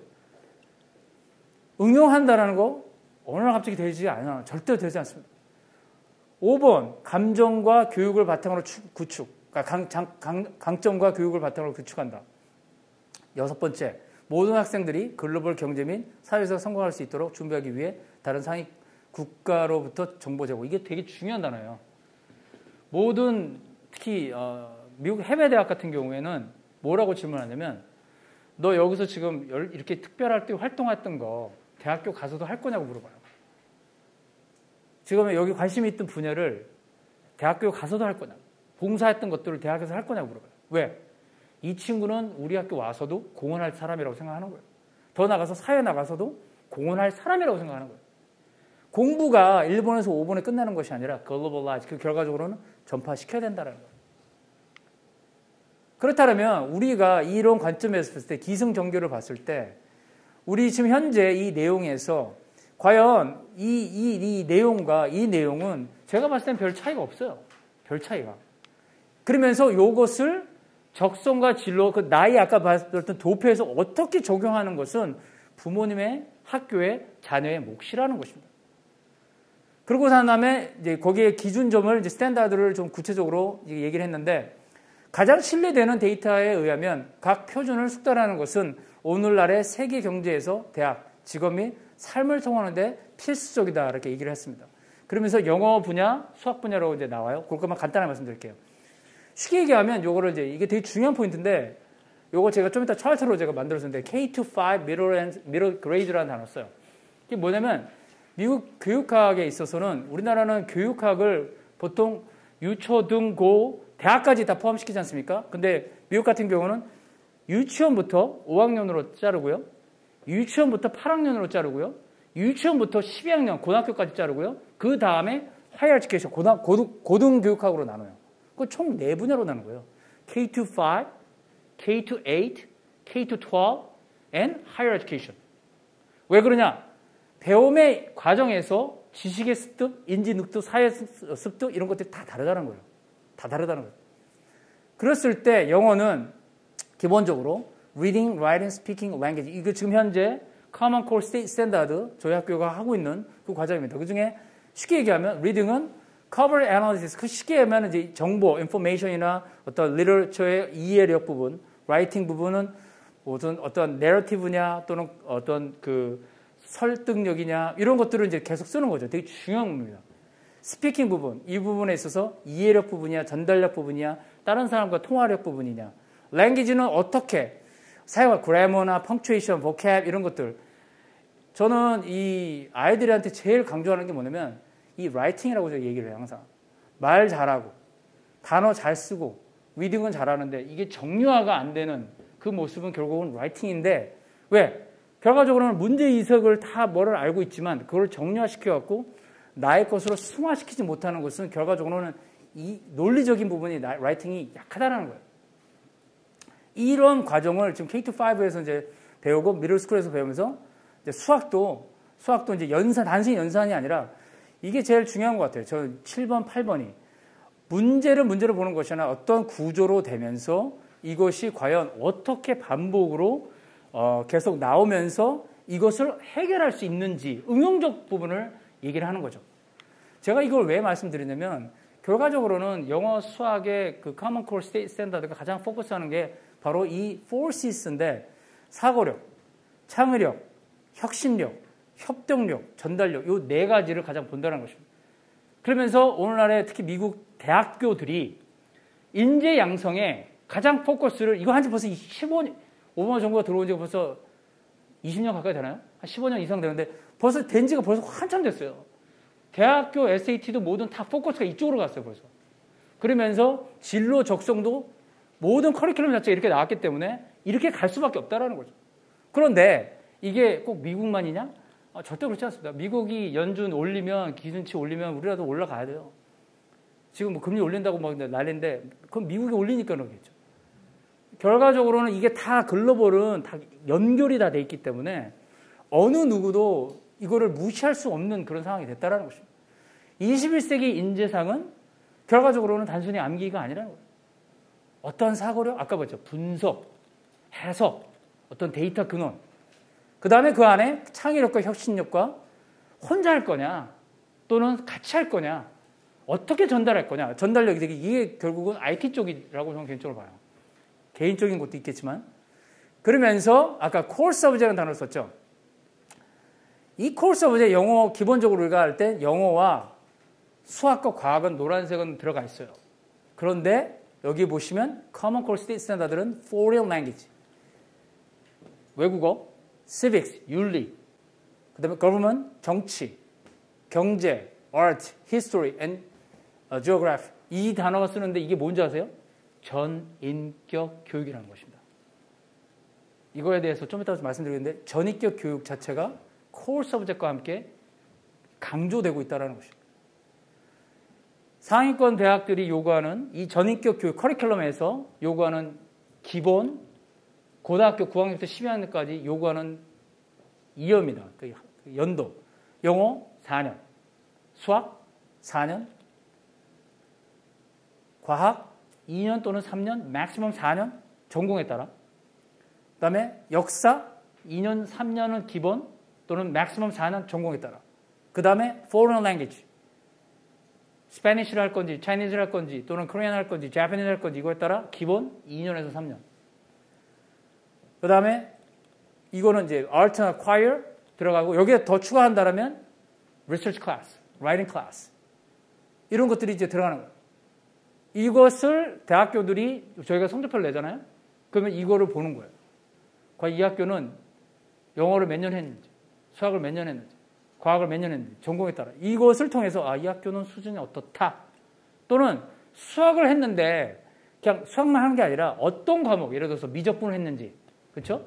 또는 어, 일반 그 역사를 했을 때 세계 세계사만 한 건지 아니면 미국사 정치사 할 건지 유럽을 할 건지 이런 디테일한 것까지 다 본다는 거예요. 그래서 저는 이제 대학교에 있었기 때문에 학교 수준을 본다? 그럼 결과적으로는 그 학교에서 어떤 커리큘럼을 그 학생들한테 내면서 그 학생들이 평균 점수와 standard test가 같이 가야지 그래야지 그 학교가 좋은 학교라고 얘기를 하는 거예요. 그냥 단순히 SAT 점수 잘 받았다고 해서 좋은 학교가 아니라는 거죠. 지금 현재 우리 저희 학교 이제 초등학교 애들 그 좀 시수예요. 지금 영어가 매일 2시간씩이에요. 수학은 매일 거의 1시간씩, 과학도 거의 일주일에 1시간, 거의 4, 4시간씩 들어가니까, 체육도 4시간, 코리안하고 바이블 아트 있는 건 2시간씩. 체육 수업이 지금 저희는 되게 많죠? 안타까운 건 뭐냐면, 11학년, 어, 12학년 때면 그 체육 수업은 성적표에서 사라진다는 거야. 대학교에 제출하면 걔네들은 빼버려요. 예. 그래서 되게 실망하더라고요, 애들은. 그나마 체육에 A 받았는데. 거기서 점수를 깎이네. 중학교도 저희 갔죠. 거인대 그 역사만. 지금 현재 역사에 대한 내용을 저희가 얘기하는데 한국어가 힘든 애들이 많아졌어요. 그래갖고 이거를 지금 고민 중이에요. 세계사로 돌려야 될지 영어로 돌려야 될지 이런 것들을 좀 고민 중에 있습니다. 자, 제가 여러 가지 얘기를 많이 드렸는데 결론적으로 말씀드리면 지금 진로 여기 지금 현재 유치원부터 5학년에 소속된 자녀를 두신 분도 있을 거고 6학년부터 8학년에 되신 분도 있을 거고 9학년부터 12학년에 되신 분도 있을 거예요. 그러면 아, 우리 애는 지금 벌써 고등학교 때 늦었네 이렇게 생각하시면 안 된다는 거예요. 또는 우리 학교가 지금 애가 지금 1학년이기 때문에 멀리 남았네라고 생각하시면 안 된다는 거예요. 아이는 어른도 마찬가지고 매일 성장합니다. 그리고 그 안에 아까 보죠 progress 그 성장에 잠재력이 있다라고 분명히 그게 어떻게 진로와 적성이라고 제가 아까 말씀드렸어요. 저도 진화되고 있고 변화되고 있어요. 매일매일. 근데 그게 하나님 안에서 주신 그 지혜로 정말 성장하고자 노력하는 거죠. 초등에 5학년 때까지 이 부분을 가장 사회학자, 특히 심리학자들이 많이 얘기를 하는데 social emotional learning이라고 들었어요. 그러니까 사회, 흔히 말하는 emotional, 그 감성 지수의 성장이겠죠? 그래서 제일 중요한 거, 엄마, 나는 누구야? 나는 남자야, 여자야, 또는 나는 누구야, 이름을 얘기하는 거예요. 자기를 인식하는 거죠. 나는 누구의 아들, 난 누구의 딸. 그것이 정점을 찍은 데가 3학년이라고 얘기를 하더라고요. 3학년. 그러면서 자기 관리가 나오는 거예요. 어렵죠, 자기 관리. 심지어 고등학교 때도 자기 관리 안 해요. 근데 그때부터 조금씩 조금씩 인지를 하기 시작하는 거예요. 근데 여기 다 기가 막힌 게 뭐냐면 셀프라는 단어가 들어가요. 그죠? social awareness, something 인지, 사회 인식, 관계술, 타인과의 관계. 그래서 이 초등 때 학교 갈 때 제일 먼저 질문이 뭔지 아세요? 학교 재밌었어. 행복했어. 엄마 학교 가고 싶어. 그 사회성을 제일 먼저 인지하는 그 시점이 초동이라는 거예요. 유치원에서 초동. 죄송하지만 영어, 영어 유치원 보냈던 우리 부모님들, 저는 진심으로 말씀드립니다. 과거에서 벗어나십시오. 우리 아이가 조금 영어 잘한다고 그렇게 목에 힘주시지 마세요. 이건 제가 카메라 내려고 얘기하겠습니다. 다 똑같아요. 나중에. 그때 조금 한다고 뭐 아이고 죄송하지만 다 똑같아요. 거꾸로 영어 못한다고 주눅 들지 마세요. 공부 못한다고 주눅 들지 마세요. 아직도 많이 남았어요. 심지어 고등학교도 마찬가지예요. 6학년, 8학년 보시, 보시면 여기 보시면 이때는 조금 더 요게 끝나고 나면 어떻게 돼요? 어, 책임감의 결정력과 함께 적응력으로 들어가요. 사회성. 이때는 막 사춘기 들어가죠. 감성 변하죠. 그쵸? 그 다음에 아이들이 막, 그, 막 몸도 변하죠. 그러면서 자아충분으로 들어가면서 자기, 자기가 누군지도 잘 몰라요. 부모님과의 커뮤니케이션도 어려워요. 협력은 커녕 자기 중심으로 더 가요. 이런 것들이 막 자아충분으로 되면서 그때부터 문제를 보기 시작하고 그때부터 어떤 해결을 하게 되면서 성숙도로 이제 9학년부터 가는 거예요. 그래서 저는 9학년 치면요, 심지어 대학교, 최근에 제가 대학교 몇 명 이제 인터뷰를, 인터뷰가 아니죠. 카운슬링을 이제 해줬는데, 대학원 준비하려고 하는 애들이 있어요. 아, 참. 어떻게 고등학교 별 차이가 없지? 이런 생각을 가졌어요. 그만큼 이제 저도 이제 늙은 거지. 고등학교, 대학교 애들 보기를 애처럼 보니까. 그러니까 대학을 가도 챙겨줘야 돼요. 어쩔 수 없는 것 같아요. 기술 친밀성, 고등학교 가서는 탄력성, 이 resilience라는 것은 탄력이라는 건 결과적으로는 어떤 이슈가 터졌을 때 거기에 적응을 탁탁탁 하냐는 거죠. 그 다음에 기업가 정신, 좀 돈을 떠나서 어떤 혁신, 어떤 뭐 진취 이런 것들이 나오는 거예요. 그 다음에 이게 사회성, 다문화, 공감성. 자, 요, 요, 요 맨 마지막 있지 않습니까? 자, 재미있는 게 뭐냐면 여기부터 저 끝까지가 대학교 에세이가 똑같이 연결돼요. 똑같이. 그리고 어디서 끝나냐면 사회성, 다문화, 공감성으로 마침표를 찍습니다. 그것이 적성과 진로와 똑같이 가요. 지난 22년을 제가 대학교 애들 지금도 원서 쓰지 않습니까? 에세이 쓰고 있고. 질문들이 거기서 변하는 적이 없어요. 절대로 어떠한 몇 점 받았냐라고 물어보진 않아요. 가장 기본적인 거 봐요. 내가 누구냐? 내가 속한 사회는 뭐냐? 거기서 뭘 했냐? 뭘 할 거냐? 더 나가서는 너는 타인을 어떻게 볼 거냐? 너가 갖고 있는 그 혁신은 뭐냐? 특히 스탠포드나 이런 말 IT 쪽에 있는 STEM 쪽에 있는 데는 그쪽에 더 질문 더 많이 해요. 더 많은 질문들. 이런 가운데 지금 현재 우리가 봤을 Common Core State Standard 자체는 지금 현재 이걸 봤죠? 그러고 난 다음에 life and career skill 자체를 봐요. 그러면 제가 life career skill 자체를 이걸 전인격이라는 단어를 썼을 때 이전에 제가 말씀드렸던 내용, 저는 이거 이게 하버드 대학교 교육 대학원에서 발표한 거기 때문에 이건 변화가 없어요. 앞으로도 없을 거고 끼케어 업데이트밖에 안 될 거예요. 첫 번째 뭐냐? 학업의 전인격 분야. 그래서 비주요 주요 과목 비주요 과목 열심히 하라는 거예요. 우리 부모님 중에 학원 많이 보내시는 분들 계신다면 제가 꼭 부탁드리겠습니다. 많이 보내지 마세요. 진심으로 말습니다. 학원 언제 보는 줄 아세요? 특히 SAT 학원, 토플 학원. 이거 제가 예를 들면 아마 좋아하실 거예요. 우리가 아플 때 감기 콜락콜락하고 병원에 가잖아요. 그러면 의사는 약 줘요. 근데 그 약을 많이 먹으면 내 몸이 흔히 말하는 이 흔히 말하는 뭐라 그러죠? 그 이미제이션 시스템 자체가 약해져요. 그래서 약을 더 센 걸 먹어야 돼. 더 센 걸 먹어야 돼. 내가 운동을 하는 데 있어서 10kg짜리 엘랭이 들었어. 근데 15kg까지 들고 싶어. 근데 내 몸으로 안 돼. 그래? 그러면 15kg를 할 때 근육의 팽창과 동기부여가 생겨? 그러면 옆에 있는 사람이 딱 올려줘요. 그 순간 5kg를 들 수가 있어. 그러면 내 근육이 인지를 하죠. 내 몸이 인지를 하는 거예요. 자신감도 생기고. 그 다음에는 몸이 아프죠. 근육이 팽창됐으니까. 그러고 난 다음에 그렇게 운동을 하면 15kg부터는 또 올릴 수 있어요. 그때 누가 필요해요? 아까 말씀드렸던 도움, spot, 흔히 말하는 그 personal trainer가 필요한 거예요. 학원의 개념이나 똑같다는 거예요. 오늘날 우리나라 부동산 그 타운 개발되는 거 보니까 학교가 있으면 학원이 학원가가 생겨야 된다라는 개념이 있더라고 부모들이. 이게 언제부터 생겼는지 모르겠어요. 왜 학교가 있는데 꼭 학원이 꼭 생겨야 되나? 학원은 정말 필요한 아이들이 있어요. 아까 말씀드린 것처럼 10kg에서 5kg 넘길 때 그 도움이 필요한 그 시점에 준비가 난 애들이 가서 5kg를 딱 경험하면 그건 확 넘어갑니다. 근데 10kg도 못 드는 애들한테 10kg를 줄, 주면서 누군가가 도와주려고 한다? 그럼 당연히 못하죠. 학원의 개념을 저는 개인적으로 이와 똑같다고 생각해요. 기본적으로 학교 공부를 충실히 하면서 선생님이나 또는 부모님이나 학, 학생이 합의하에 아, 좀 이 기간에는 좀 이 정도의 extra support를 좀 받았으면 좋겠다라는 그런 것이 된다라면 충분히 좋은 결과가 나올 거예요. 근데 동기도 없고 또 어떤 준비도 안 돼 있고 그냥 남이 하니까 남이 들어보니까 한다? 그거는 죄송하지만 돈을 절대로 잘 투자하는 것이라고 생각하지 않습니다.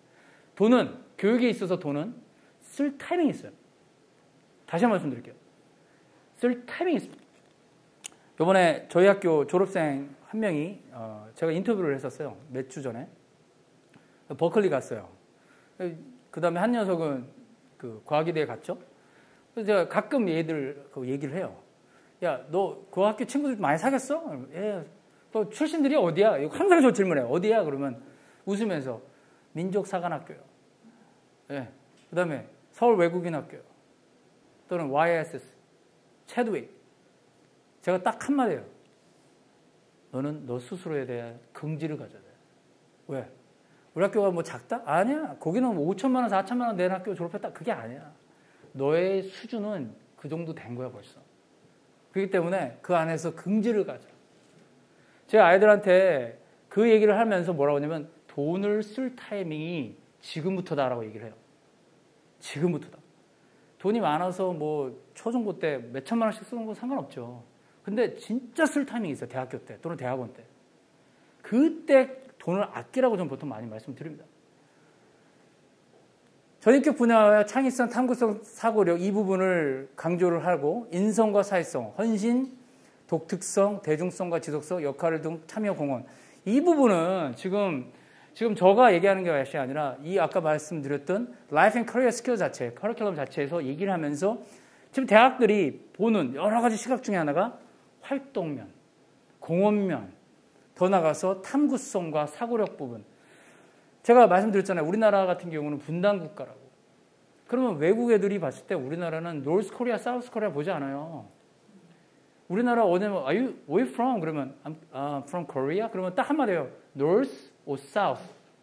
절대로 코리아 나라를 한 번에 이렇게 인지를 못해요. 그런데 North Korea 그러면 다들 핵으로만 보죠. 그렇죠? South Korea 그러면 어 그냥 그런가 보다라고 넘어가. 요즘은 케이팝이니까 이제 그러겠죠. 근데 그만큼 어 우리 우리 자체가 이제 그 소속된 나 자신과 소속된 공동체를 이제 보고 그 다음에 공립 사립 교육기관 이걸 왜 보냐면 어 우리가 이제 그 제가 이거 말씀드렸던 게 뭐냐면 전인격 교육에서 자기를 설명할 때 꼭 주류를 나왔을 때를 좋아한다라고 사람들은 생각을 해요. 절대로 그렇지 않습니다. 내가 처한 곳에서 그곳에서 어떻게 내가 했는지 이번에 졸업하는 학생 케일러 같은 경우에는 그 반 한 명이에요.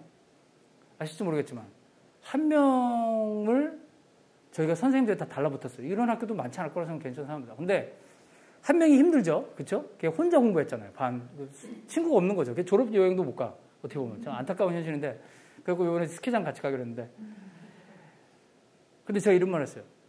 내가 봤을 때 너 대학 원서 에세이 되게 좋아할 거다. 왜? 한, 혼, 한자, 혼자. 코로나에서 그것도.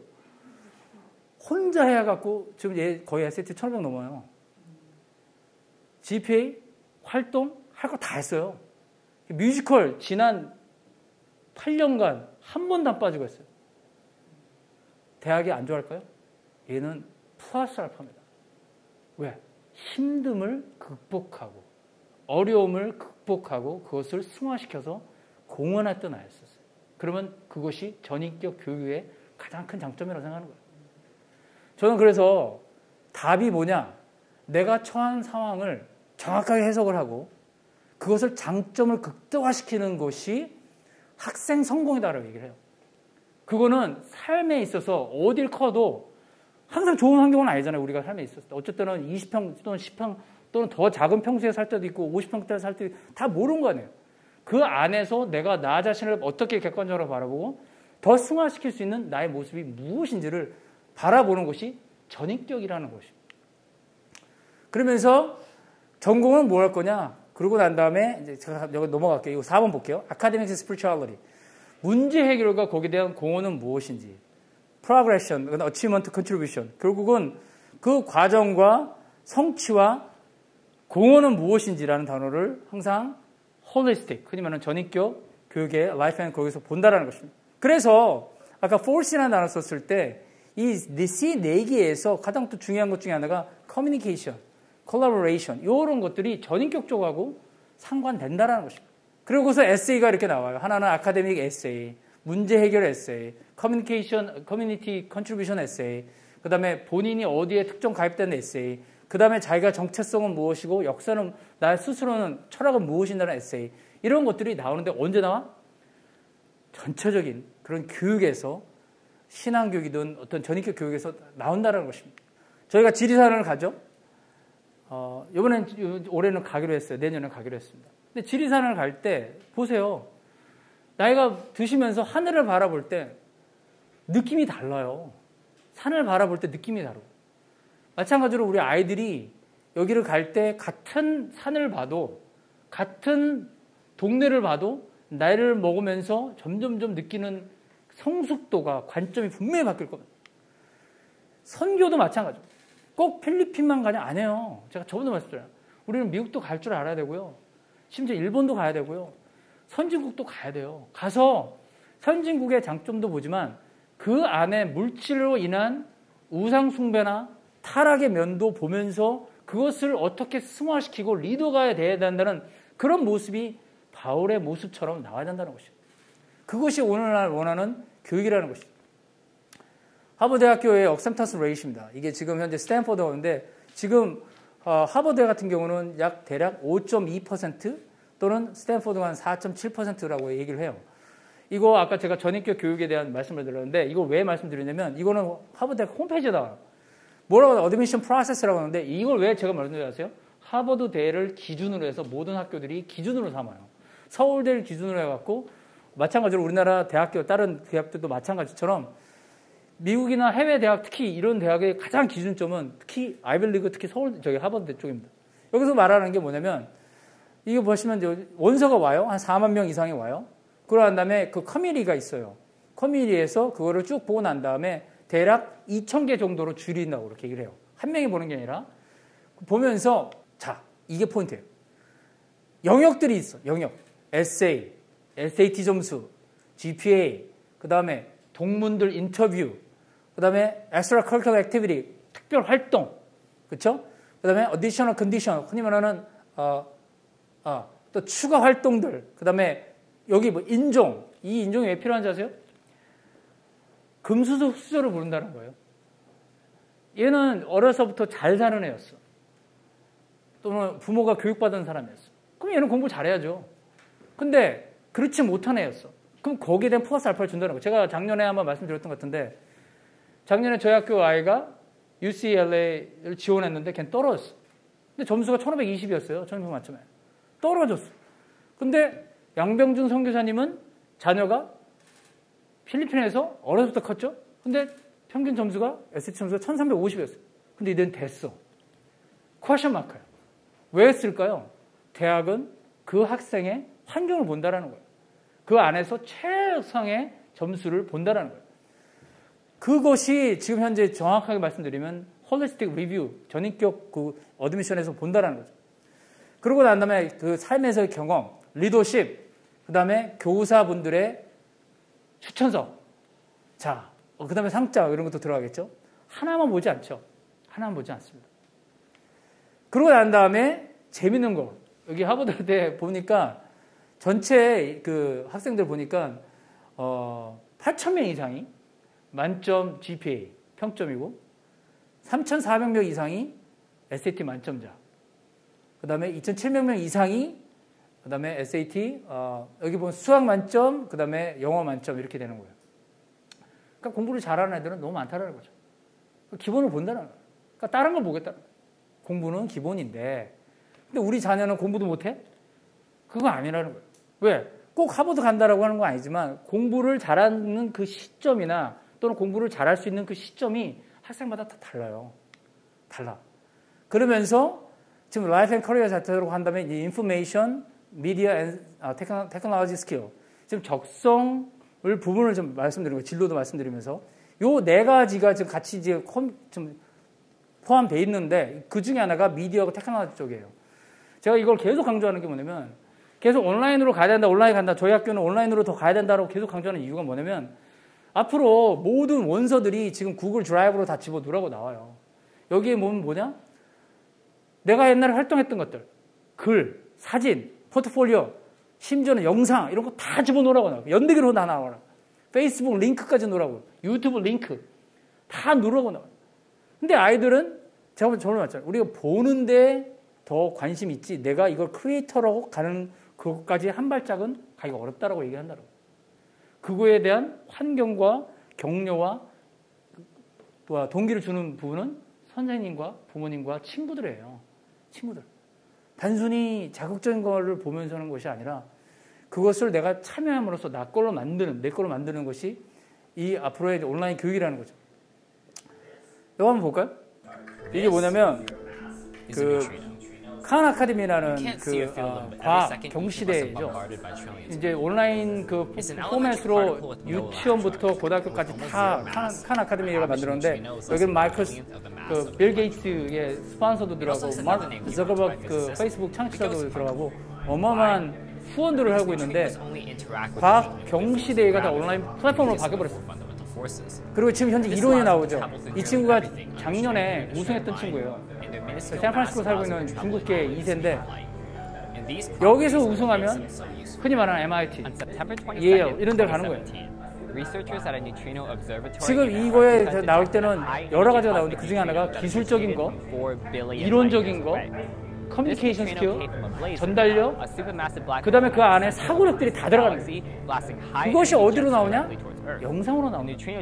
이건 지금 저희 학교 에밀리가 Have you ever tried walking into the school hallway only to be met with 지역 a hallway 예선과 full of students 대륙 that you 예선이 can't 다 get to your 통해서 next 이렇게 class, 들어가요. much less enter the hallway? That is how healthy cells feel when someone has acute lymphoblastic leukemia or ALL. ALL is a cancer developing from an excess amount of immature lymphoblasts.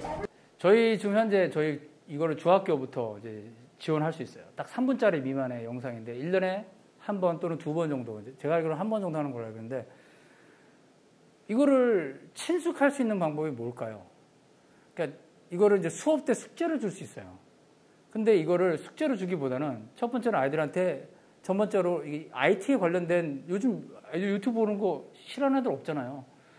근데 그거를 흔히 말하는 부모님들은 환경을 만들 수 있는 게 아니라 컴퓨터 사주고 또는 핸드폰을 사주고 프로그램을 깔아주고 그것까지는 할 수 있겠죠.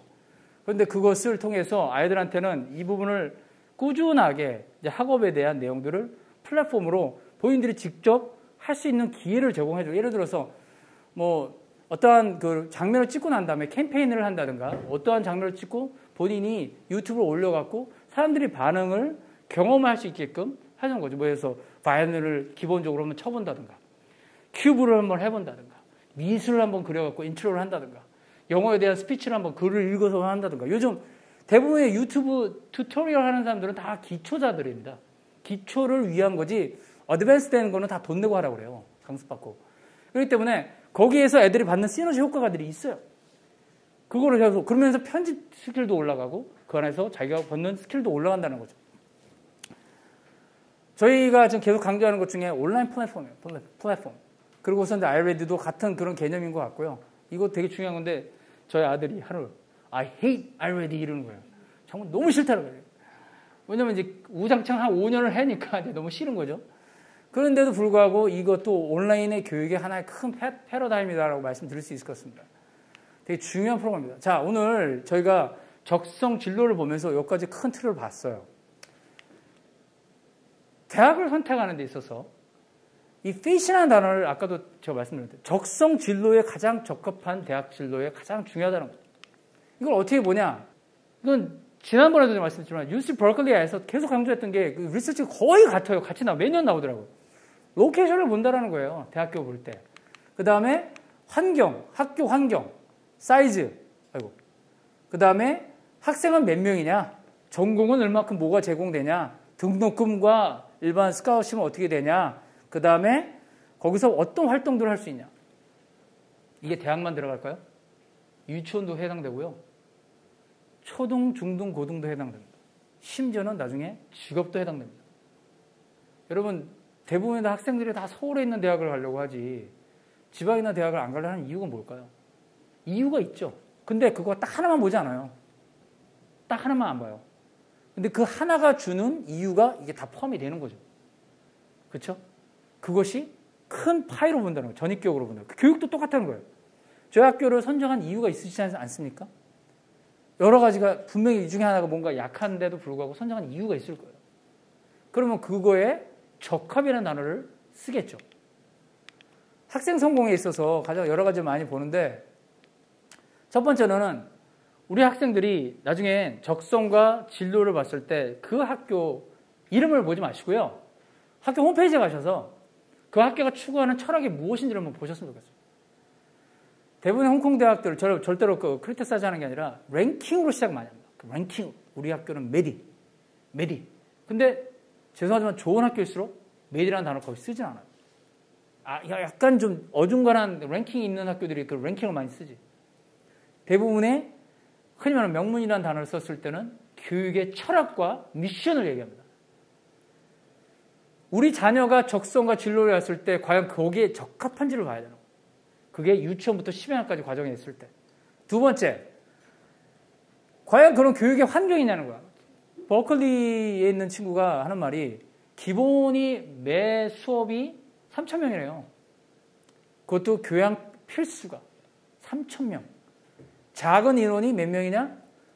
500명. 제일 작은 40명에서 50명. 제가 저번에도 한번 말씀드렸잖아요. 자녀 성격이 외향적이면 더 적극적이면 또는 탐구심이 많으면 큰 학교가 맞다. 근데 약간 소극적이고 더 많은 케어가 필요한 학생일수록 사립 작은 학교가 필요하다. 왜? mentorship에 더 많이 가야 되니까. 이것이 정확하게 아이들한테 정확하게 하지 않으면 그 안에서도 본인이 갖고 있는 potential, 잠재력이, 적성의 잠재력이 나타나기 어렵다는 거예요. 그 다음에 demonstrating the core passion for talented development. 결과적으로는 그 아이들이 갖고 있는 그 속성을, 그 은사들을, 어떤 열정들을 실행할 수 있는 그런 교육 환경, 더 나가서 교수나 친구들이나 인스트럭터들이 그 학생을 위해서 더 많은 시간을 할애해 줄 수 있는 학교. 더 많은 피드백을 줄 수 있는 학교. 이것이 학생 성공에 가장 중요하다는 거예요. 우리 학교 같은 경우도 비슷하죠. 그렇죠? 학생이 이슈가 터졌는데 가만히 둔다? 또는 학교 철학, 교육 철학이 별로다? 또는 학생이 시간을 더 많이 학생한테 사용을 안 한다? 학생 성공에 되게 저희가 소홀하다고 볼 수 있는 거죠. 그 다음에 또 하나가 뭐냐면 이 학생의 다양성을 본다는 것입니다. 우리나라 사람들은 다양성을 꼭 무슨 거기 뭐 외국에서 오는 사람들 얘기하는데 그렇지 않아요. 저희 부모님들 보면 다 출신이 다 다릅니다. 고향도 다르고 또 환경도 성장 하신 환경도 다르고 직업도 다를 거고요. 심지어는 갖고 있는 종교적인 관점도 다를 겁니다. 심지어 신앙의 관점도. 그것이 다 문화입니다. 그 안에서 내가 누구를 어떻게 배운지 그거를 봐야 된다는 것입니다. 그리고 특히 교수나 선생님들의 그 문화, 언어, 갖고 있는 가치관 그것을 수업에서 본다는 거예요. 그러고 난 다음에 7번에 여기 보면은 더 많은 International Study Abroad 교환 프로그램 대학을 보내시지 않습니까? 절대로 제가 꼭 추천드리겠습니다. 한국 연대나 이런 데 가라고 하지 마세요. 제가 몇 번을 제가 봤는데 우리나라 로망스가 있어요. 여기서 다니다가 외국에 간 애들은 연대나 이대나 서울대나 exchange 프로그램이 되기 때문에 한 6개월 이렇게 와요. 와서 뭐 하는 줄 아세요? 대부분의 지금, 지금까지 제 경험은 다 술 먹어요. 나이클럽 가고. 걔들은 그게 로망스야. 왜냐면 안 해봤기 때문에. 그래갖고 성적이 확 다운돼갖고 돌아가서는 어마어마한 고생을 하는 케이스도 많이 봤고. 시간 낭비하는 거, 물론 그렇게 다른 아닙니다. 차라리 저는 뭐라면 아프리카 가라고 그래요. 네, 차라리 아프리카 가라고. 차라리 캄보디아 가라고. 그런 데 가서 봉사를 하든가 아니면 유럽에 가서 문화를 배우든가. 근데 이거에서 강조하는 이건 뭐겠어요? 가서 타문화, 타 사람들을 보라는 거예요. 저희가 지리산 가는 것도 또는 어떤 그 사회 봉사하는 것도 다 이유가 있는 거죠. 기술, 이게 또 electronic technology, 인턴십. 고등학생이 되면 우리나라는 좀 어렵지만 꼭 추천드립니다. 어, 적어도 고2 때 방학 때 아르바이트를 시키세요. 어떻게 시키냐? 베스틴 라빈스 가서 보내세요. 그런데 가서 적어도 매달 얼마씩 벌도록 한 세 달, 네 달 정도 일을 시켜보세요. 일을 하면 그게 플러스 알파가 돼요. 우리나라에서 일을 하면 별로 안 좋아하죠. 근데 그렇지 않아요. 일을 시키고 그 안에서 어떤 걸 배웠는지를 한번 물어보고 그것을 나중에는 에세이로 또는 본인의 체계화로만 만들어 보시죠. 그게 큰 성장이 될 겁니다. 왜? 돈의 중요성도 뿐만 아니라 부모님한테 감사할 거예요. 절대로 돈 갖고 유흥하는 그런 걸 하지 않을 겁니다. 그 다음에 그 리더십 부분, 그 다음에 supportive campus 프로 environment 이런 것들이 있는데 제가 여기서 이제 아, 그다음 peer support 이게 보면은 이제 학생 성공에 있어서는 학생 학생을 가르치고 또한 어떠한 그 교육 프로그램들을 여름, 겨울 또는 어떤 그 프로그램들이 뭔지 보면서 특히 미국 같은 경우에는 trendy한 그런 major가 뭐냐? 지난해 제가 강의했던 내용하고 별 차이가 없어요. 기본적으로 STEM major가 가장 많아요. 이공계 쪽. 그 중에 하나가 computer science나 또는 어, 어, 바이오 쪽. 그렇죠? 우리나라 요즘 바이오 중심 많지 않습니까? 특히 생물, 물리, 화학 이런 쪽은 뭐 어쩔 수 없이 더 많이 발전될 겁니다. 그리고 대신 이제 인문계 쪽이면 당연히 똑같아요. 비즈니스 쪽. 경영과 경제학은 다릅니다. 경제학은 이론을 가르친 거고 경영은 실질적인 거를 가르치는 거죠. 그런데 재밌는 게 뭐냐면 의, 그러니까 흔히 말하는 어, 이 의과 쪽, 특히 뭐 간호나 또는 치료나 또는 풍력 발전이나 이런 약간 좀 21세기를 내다보는 그런 쪽으로 왜냐하면 social care, 그 뭐죠? 사회 복지, 사회 복지 쪽이 더 많이 가잖아요. 그러니까 그런 쪽으로 더 많이 가는 거예요. 만약에 부모님들 자녀 중에 어, 이렇게 케어에 관심이 있고 남을 돌보는 관심이 있고 그런 거에 한다라면 사회 복지 쪽도 상당히 좋은 직업 전망이라고 생각합니다. 쿡, 레스토랑.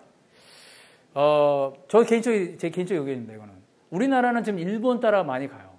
그렇기 때문에 일본이 지금 인구 절벽이 확 되면서 벌써 꽤 됐죠. 패밀리 비즈니스로 간 지가 꽤 됐죠. 3대, 4대째 레스토랑 한다든가 이런 쪽. 그러면서 그것을 쭉 되는데 저희 나라도 아마 일본 따라가 많이 가지 않을까 좀 개인적으로 생각하고 특히 어, 이런 식당이나 이런 것들 요즘 식당 운영 또 요리 잘하시는 분들 유튜브 이런 거 보면 어마어마하잖아요. 그런 걸 또 비즈니스화 시켜갖고 그런 마인드가 있으니까 이런 것도 상당히 유망받는 전 어, 직업이라고 저는 개인적으로 생각합니다. 그렇기 때문에 대부분이 이공계와 인문계 쪽이 이제 같이 이제 공존하는데 어, 특히 이제 UC 계열의 학교들을 쭉 봤을 때 UC 계열 같은 경우는 점점 점점 들어가기가 더 어려운 것 같아요. 왜냐하면 인구들이 더 많이 들어오고 경쟁 자체가 더 특히 직업도 많이 생기면서 UC 계열 이게 UCLA거든요. 점점 점 퍼센티 자체는 더 힘들어지고 있는데 UC 버클리 같은 경우는 마찬가지고요. 이 가운데서 UC 이게 지금 UCLA거든요. UCLA 가장 많이 제공되는 과. 근데 그게 참 재밌는 게 뭐냐면 과학 쪽이에요. 더 많이 뽑고 흔히 말하는 더 많이 배출한다. 왜? 직업이 더 많으니까. 쉽게 얘기하면 오히려 정치학이나 또는 어떤 인문계 쪽이 더 들어가기가 더 힘들지 이공계 쪽은 그렇게 어렵지 않다라는 거예요. 쉽게 말씀드리면. 그러니까 저 예를 들어서 저 engineering school 가려면 또는 어떻게 가려면 어떻게 할까요? 오히려 engineer school 자체는 더 요구하는 것이 더 간단합니다. 수학 쪽 많이 보고요. 그다음에 화학 쪽이나 이공계 쪽이 물리 쪽 많이 보고 그 다음에 경영대도 수학 쪽 많이 보고. 근데 오히려 인문계 쪽은 활동명을 더 많이 보고 그런 여러 가지 글들이나 이런 것도 더 많이 본다는 거예요. 근데 뽑는 것도 바이오지나 biomedical 소스 science 같은 이런 쪽은 훨씬 더 많이 뽑기 때문에 더 많이 뽑으면 더 지원자도 더 많다라는 거죠. 또 이제 이건 UCLA 같은 경우에요. 이건 학교마다 조금씩 다른데 UCLA 같은 경우는 보통 기본적으로 어, social science, 그러니까 사회 과학 쪽으로 이제 많이 보는 건데 그 중에 하나가 그 교육이나 어떤 사회학이나 또는 어떤 심리학이나 이런 쪽으로 이제 많이 봐서 이쪽에 더 많이 뽑습니다. 학교마다 조금씩 다르지만 기본적으로 사회학, 역사학, 그 다음에 심리학, 요거는 기본적인 모든 인문학의 철학, 그 다음에 또 하나는 신학, 이거는 가장 기초, 학문이다 말씀드리죠. 그래서 제가 보통 말씀드릴 때 전공을 대부분이 애들이 몰라요. 10이라는 10일 때뭘 할 거냐면 잘 모르겠다고 얘기를 해요. 심지어 제 딸도 그래요, 지금. 요즘 가끔마다 춤추고 싶다고 그렇게 얘기하는데 나쁜 게 아니죠. 근데 정말 잘 춰야 되고, 예. 좋아할 나이죠. 음악도 좋아할 나이죠. 근데 이제 그런 과정에 자기를 발견하지 못할 때 그때 저는 보통 얘기를 뭐냐면 첫 번째 이공계냐 인문계냐 또는 예체능 쪽이냐 그걸 이제 가요 같이 그러면 이공 인문계 쪽이다 그러면 난 잘 모른다 그렇다면 기본적인 틀에서 이 부분을 많이 얘기합니다 심리학이나 사회학이나 철학이나 또는 어떤 그, 어, 그, 요세 가지, 요 세 가지 쪽으로 가장 많이, 왜? 이게 많이 연관이 돼 있어요. 그 다음에 이공계 쪽으로 간다라면 기본적으로, 어, 아까 말씀드린 것처럼, 어, 아까도 그, 저기 뭐지, 그 생물이나 이런 쪽으로 쭉 가, 그 관련된 것 쪽으로 가다가 나중에는 의과대로 프리메 그 의학과 쪽으로 간다든가 그렇게 가죠. 미술이나 그다음에 음악 쪽으로 가는 친구들 보면은 11학년 때까지 고민하는 것 같아요. 또는 12학년 때까지 고민하는 왜? 가야들도 알아요. 왜냐면 내가 여기서 탁월하지 않으면 성공하기 어렵다라는 거예요. 근데 어떤 부모님들은 대학을 위해서 가야 된다라고 해서 가는 애들도 있어요. 근데 이제 그 케이스에서는 제가 보통 권장을 어, 두 가지 트랙을 다 잡으라고 그래요. 보통 이제 미술이나 음악이나 일반 인문계나 이렇게 자연계를 하는 애들 중에 기본적으로 상위권 대학들은 요구하는 게 그런 예체능 활동들을 되게 좋아해요. 그래서 음악을 안, 전공을 안 함에도 불구하고 음악에 나가서 어떤 우상, 수상 경력이 있다든가 또는 최고의 경험이 있다든가 그러면 그건 플러스 알파가 되는 거예요. 일반 admission에.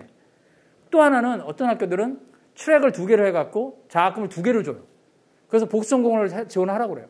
그래서 음악으로 했던 애들, 미술을 했던 애들한테는 그 미술에 대한 장학금, 음악에 대한 장학금, 인문계에 대한 장학금 또는 이공계에 대한 장학금 이 두 가지를 다 주죠. 그러고 난 다음에 언제 결정을 해? 복수로 하든가 둘 중에 하나를 3학년 때 결정을 하는 학교들이 많아요. 그래서 요즘은 좋은 대학일수록 1, 2학년 때는 전공이 없습니다. 거의 없어요. 그 대신 관심 있는 디파트먼트 부서는 쓰라고 그래요. 그래서 1, 2학년 때 해당하는 과를 그 필수로 해요. 그러고 난 다음에 3학년 때 그 해는 요구. 예를 들어서 경영학과로 들어와야 된다. 버클리. 그러면 평균 1, 2학년 때 점수가 3.5 이상. 그 다음에 어떤 어떤 과목, 그걸 이제 prerequisite이라는 단어 쓰는데 필수 요건 과목들을 해야 된다. 이 내가 만약에 어, 미, 음대, 어, pre-med, 의예과를 간다라면 생물이나 이런 걸 무조건 해야 되고 이런 것들을 요구를 하죠. 그래서 지금의 절차에서 애들이 적성을 잘 모른다. It's okay. 그 대신 관심 있는 게 뭐냐라는 거를 downgrade 시키는 게 언제냐? 일, 대학교 1, 2학년 때예요. 그리고서 대학을 들어갈 때 어떤 조건으로 들어갈 건지는 그때 가서 이제 장학금이나 이런 것들을 보는데 제가 계속 말씀드렸던 게 뭐냐면 유학생들은 특히 미국 대학이나 이런 데는 토플만 보셔도 돼요. 절대로 SAT 필요 없어요. 그런데 나중에 SAT나 SAT를 요구하는 점수가 왜 필요하냐면 재정적인 부분이 가장 커요. 왜냐? 뭐 공립학교 나와도 얼마든지 갈 수 있죠. 그러면은 어, 나중에 받아주지만 미국 아이들처럼 원어민들처럼 똑같은 급에서 장학금을 주지 않습니다. 두 번째, 상위권 대학, 흔히 말하는 40위권 대학, 흔히 말하는 우리가 쉽게 얘기하는 UC 얼바인 길 레벨 또는 어, NYU 아니 저기 버스턴 대학교 이런 급직의 위 그 상위로 간다라면 기본적으로 SAT를 봐야 돼요. 그 학교들은 요구를 해요. 그래서 SAT 없이 대학을 좋은 데를 가나요? 어, 저는 그런 케이스 못 봤습니다. 하지만 중위권 대학은 충분히 갈 수 있습니다. 다만 이제 쉽게 얘기하면 장학금의 기회는 많이 적습니다. 그래서 저는 이제 제가 많이 강조드리는 게 뭐냐면 돈을 쓸 때 돈을 써라. 언제냐? 제 의견은 대부분이 대학원까지 간다라고 생각해요. 대학원까지 가야지 거기서 전문성을 보기 때문에 학부 때는 재밌고 돈을 많이 절약하고 일 수 있는 그곳에 가되 대학원을 준비할 수 있는 그런 과정 또는 물론 대학원 안 가고 하는 애들도 있어요. 근데 그때 이제 많이 이제 돈을 그때 많이 세이브를 하라 이렇게 말씀을 많이 드려서 그래서 제가 일반 standard test를 얘기를 하는 거고요. 제가 빨리빨리 끝내겠습니다.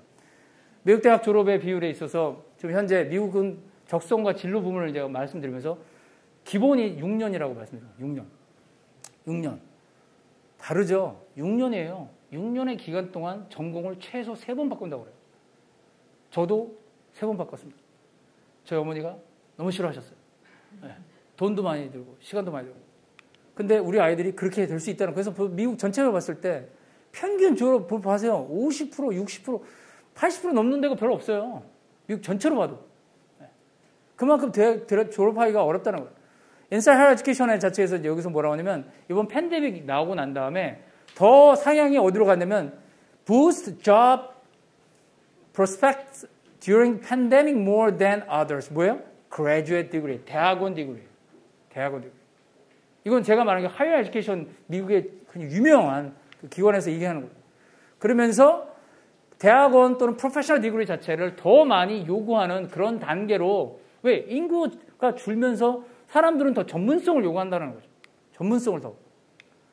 자, 오늘 제가 아까 쭉 말씀드렸던 holistic 그 전체적인 거를 보면서 진로를 봤는데 여기에서 대학을 선정을 하실 때, 대학을 진로를 하실 때 과연 어디에 가장 필이 꽂힐지 또는 우리 아, 자녀는 어디에 핏할 수 있는지를 볼, 봐야 된다는 것입니다. 첫 번째, 오늘 이제 가장 중요한 포인트입니다. 우리 자녀들 진로와 적성을 하실 때 첫 번째로는 아까 자기 인식이라는 단어를 썼어요. 자기 인식. 자기 인식이 참 중요하다고 저는 개인적으로 생각해요. 우리 자녀가 내가 지금 공부를 왜 하고 있는지 이런 질문들을 계속 들어야 돼요. 제가 오죽하면 아이들이 제가 이제 성경을 가르치고 칼리지 리서치 클래스를 가르치지 않습니까? 그럼 애들도 바보가 아닌지라 성경이 쉽다는 걸 알아요. 점수 받기 쉽고 수업이 별로 어렵지 않다고. 근데 영어 수업은 수학 수업은 긴장하고 들어가요. 그러면 그때 제가 아이들한테 얘기를 하죠. 성경 수업의 목적이 뭔지, 칼리지 수업의 목적이 뭔지 이거에 대한 그 마인드를 remind를 계속 해줘요. 그러면서 이 부분에 대한 내용들이죠. 아까 말했던 자기 인식을, 인지를 계속 꾸준하게 초등이든 중등이든 고등이든 그것들을 계속 병행해 가야 되는 그 과정이 진로와 적성의 가장 기초적인 거다라고 말씀드릴 수 있다는 것입니다. 그러면서 아까 말씀드렸잖아요. 에세이, 아까 에세이 질문이 나왔잖아요. 그 질문에 토대로 해서 내가 누군지를 볼 수 있다는 것입니다. 두 번째는 생각의 패턴을 바꿔야 된다는 것입니다. 이거는 제가 하는 게 아니라 그, 그 이론에서 나온 건데 어, 여기 보면 어, Bloom's Revised Taxonomy라는 그, 그, 이론이 있는데 여기서 말하는 게 지금 현재 그 4C's 영향과 거의 같다고 좀 봐요. 첫 번째, remembering. 이거를 좀더 브렉다운 시킬게요. 기억하고, 이해하고, 적용하고, 분석하고, evaluate. 평가하면서 creating. 그냥 창의성으로 가야 된다. 우리 학교 아이들이나 많은 아이들이 대부분 여기서 끝나요. 1번, 2번에서. 기억하는 잘해요. 외우는 거 잘하고 이해까지는 해요. 근데 그것을 어떻게 병행으로 실천하까지는 어려워요. 더 나가서 이것을 분석하면서 더 나가서 어떻게 해요? cre, creativing 하는 거, creativing 하는 가까지 창의까지 가기가 상당히 기간이 어렵습니다. 이거를 저는 대학교, 대학원 가서 대학원 끝날 때쯤에 그게 어느 정도 적응이 됐었어요. 그럼 결과적으로는 거의 20년이라는 시간 또는 15년이라는 시간이 들렸던 거였죠. 보면은 브레이크다운 시키면 remembering 해갖고 can the student recall the information? 그럼 인포메이션을 기억하냐? 두 번째, can the student explain the ideas and the concept they have remembered? 그걸 이해하면서 그 개념 자체를 기억했던 것을 설명할 줄 아냐? 그 다음에 세 번째, Can the student use their knowledge and understanding in the new context? 새로운 상황에서 적용할 줄 아냐는 거예요. 새로운 상황에서. 내가 맨날 A 이렇게 글을 쓰다가 다른 각도에서 쓸 줄 알 수 있는 그런 개념의 관점을 가질 수 있냐. 어느 날 갑자기 아까 말씀드렸죠. 어느 날 갑자기 우리가 나도 모르는 잡을 해야 돼요. 어느 날 갑자기 내가 모르는 일을 할 수밖에 없는 상황이 될 수 있어요. 그때 어떻게 하실래요? 우리 아이들이 적응력, 더 나가서 그 안에서 분석. Can the student distinguish between the different parts and understand how they are connected? 그런 상황 자체를 내가 과연 어떻게 상황을 이해하면서 적응하고 평가하면서 그러면서 그것을 더 낫게 그리고 더 낫게 창의성 있게 더 만들 수 있는 흔히 말하는 무에서 유를 만들 수 있는 제가 지금 이제 저희 학교 벌써 직원이 20명이 됐어요. 저도 나이가 이제 50이 됐는데 제 스스로 이런 질문을 많이 해요. 아, 나이 드신 분들하고 일하기가 참 어렵다. 저도 나이가 먹으면서 이유가 뭐냐면 그 생활 그 생각 패턴에서 벗어나기가 어려운 거예요. 고정 관념과 고정 그 경험이 있다 보니까 거기서 벗어나는 것 자체를 두려워하고 벗어나는 것 자체를 생각을 해본 적이 없어요. 그러다 보니까 밑에서 치고 올라온다는 얘기가 그 두려움이 그렇게 해서 나오는 거예요. 오늘 갑자기 바뀌기가 어렵다는 거죠. 우리 자녀들을 키우실 때 제가 꼭 부탁드릴게요. 이런 교육을 받으시면서 선을 긋지 마시기 바랍니다. 우리 아이는 어디, 어느 나라, 어느 지역, 이게 아니에요. 벗어날 수 있는, 갈 수 있는 공간을 무한대로 정하세요. 그리고 그 안에서 이 범주를 너희들이 할 수 있는 그 기초 실력과 생각과 관점들을, 생각의 패턴들을 바꾸면서 어느 날 갑자기 잡을 A로 했다가 B로 바꾸는 두려움이 없는 그 아이로 만드셔야 돼요. 기도하셔야 되고, 그리고 기다려야 되고, 그것이 부모의 가장 큰 역할이라는 거죠. 아까 말씀드렸죠. 어느 누구도 나 지금 이거 하고 있는 거를 생각을 해본 적 없어요. 그런 모습을, 그런 상황을 우리 자녀는 분명히 경험할 것입니다. 그래서 이게 좀 더 한다면 creating 할 때 ability to invent, compose, design a new concept or idea. 비트코인, 부동산, 주식 이거 제가 얘기한 게 아니라 저희 학교 부모님이 얘기하신 겁니다. 저한테. 두렵습니다. 저만 뒤쳐진 것 같습니다. 제가 뭐라고 하는지 아세요? 계속 들어오실 거라고 그랬어요. 모르니까. 흉내만 내실 거라고 했어요. 모르니까. 그런데 그 안에서 내 것이 있다고. 그것을 나의 것으로 만든 것을 개념으로, 생각으로, 뿌리로, 이론으로 거기에 올인하시면 그거의 전문가가 되실 거라고. 어려운 다음에입니다. 왜? 경험을 안 했으니까. 그래서 오늘 말씀 나눠드렸던 이런 연구 및 이런 그 기반들을 아까 그 카마코에 했었죠. 아이들은 현재 그런 과정을 밟고 있어요. 밟고 있어요. 그런 가운데 현재 기승전결에 우리 자녀들이 가고 있고 진로와 적성들을 경험하고 있습니다. 우리 부모님들은 우리 아이들이 점점 globalize 되기를 원하고 희망하는데 우리 부모님들은 더 신토불이가 된다고 제가 항상 말씀드렸던 것 같아요. 더 신토불이가 되고 있어요. 더 불안해하고 있고. 불안하지 마십시오. 절대로. 우리가 내가 경험한 거 아, 없다라고 하는 것이 아니라 절대로 불안하지 마십시오. 요것만 하고 제가 마무리하겠습니다. 아, 두 가지 더 해야 되는구나. 간단하게 할게요. 이 다방 아시죠? 한 유순 형제, 회장이죠. 제 교회 이전 교회 청년이에요. 저희 학교 왔었어요. 저, 저희 학교. 두 번 왔었죠. 요즘은 연락하기가 어려울 정도로 바빠졌는데 이 친구가 왜 다방 대표가 된 줄 아세요? 간단하게 말씀드릴게요. 지금은 3천억이 넘어요. 자산이. 처음에 시작을 서초동 저기야 법원 쪽에 있는 데서 친구 4명이 했어요. 근데 이 친구 아버지는 서울대 교수세요. 아주 FM이세요. 경기고등학교 나오시고 서울대 나오시고 큰형은 인재 인재. 첫째 형 한일순 변호사 저 학교 이사잖아요. 그 친구는 서울대 나오고 북경대 나오고 콜롬비아 나오고 명문의 명문은 나왔어요. 이 친구는 고등학교 중퇴예요. 그러고서는 공부를 안 했어요. 게임만 했어요. 자기는 IT 쪽으로 가겠다고. 아버지가 그거 참겠어요? 반대고 난리치지? 그리고 결국 집에서 나왔어. 그래서 막 자기가 돌다가 결국은 검정고시 받아갖고 대학을 들어갔어. 그러고 난 다음에 대학도 겨우 졸업했어. 그래서 한국에 아버지는 그때 오셔갖고 이 친구는 이제 한국에 와갖고 할 게 없는 거야. 그러다 그다가 뭘 봤냐면 흐름을 보게 된 거예요. 흐름. 뭘 흐름? 그냐면 온라인의 플랫폼의 흐름을 보면서 미국과 일본을 두 개를 비교를 하는 거예요. 그러고 난 다음에 앞으로 대한민국 이렇게 가겠다라고 생각을 갖게 된 거예요. 그리고 친구들하고 만만 친구들과 천만 원씩 투자를 해갖고 4천만 원짜리 오피스텔을 조그맣게 만들어갖고 서초동 그 법원 앞에 있는데 거기다가 한 거예요. 첫 2년을 저희 학교 시작할 때 같이 했어요. 저희 학교 첫 홈페이지 이 친구가 만들었어요. 맨날 저한테 목사님 저 돈이 없는데요. 저 좀 밥 좀 좀 해주실래요? 맨날 이러니. 그러다가 점점 점점 점 힘들었죠. 엄마가 맨날 이러다. 그러다가 어느 날 갑자기 벼룩시장에서 연락이 온 거예요. 벼룩시장에서 이 다방의 웹을 보더니만 어, 이거 괜찮다. 우리가 투자를 해주겠다. 그때부터 되기 시작해갖고 지금은 뭐 여러 가지 또 하나님 은혜가 있었죠. 근데 지금은 이게 된 건데 제 이 친구가 저한테 하는 말은 뭐냐면 두 가지를 얘기합니다. 첫 번째 영어의 중요성이었어요. 영어를 통해서 자기가 전체적인 그런 흐름을 볼 수 있다는 거예요. 그게 인포메이션 정보뿐만 아니라 심지어 그 나라 가서 얘기하고 관련자들로 얘기를 딱 용어를 했다는 거예요. 두 번째는 전체적인 흐름을 볼 수 있는 파악의 관점이 있었다라는 거예요. 물론 거기에 투자나 이런 것들이 운이 있었죠. 모든 사람이 영어로 위한 단어를 얘기했을 때 그 하나의 도구로 봐요. 그렇게 보지 마세요. 삶에 있어서 가장 이제는 가장 기본이라는 거예요. 점점 점점 국제화가 되면서 지금 영어로 안 하는 컨퍼런스나 또는 어떤 발표가 있나요?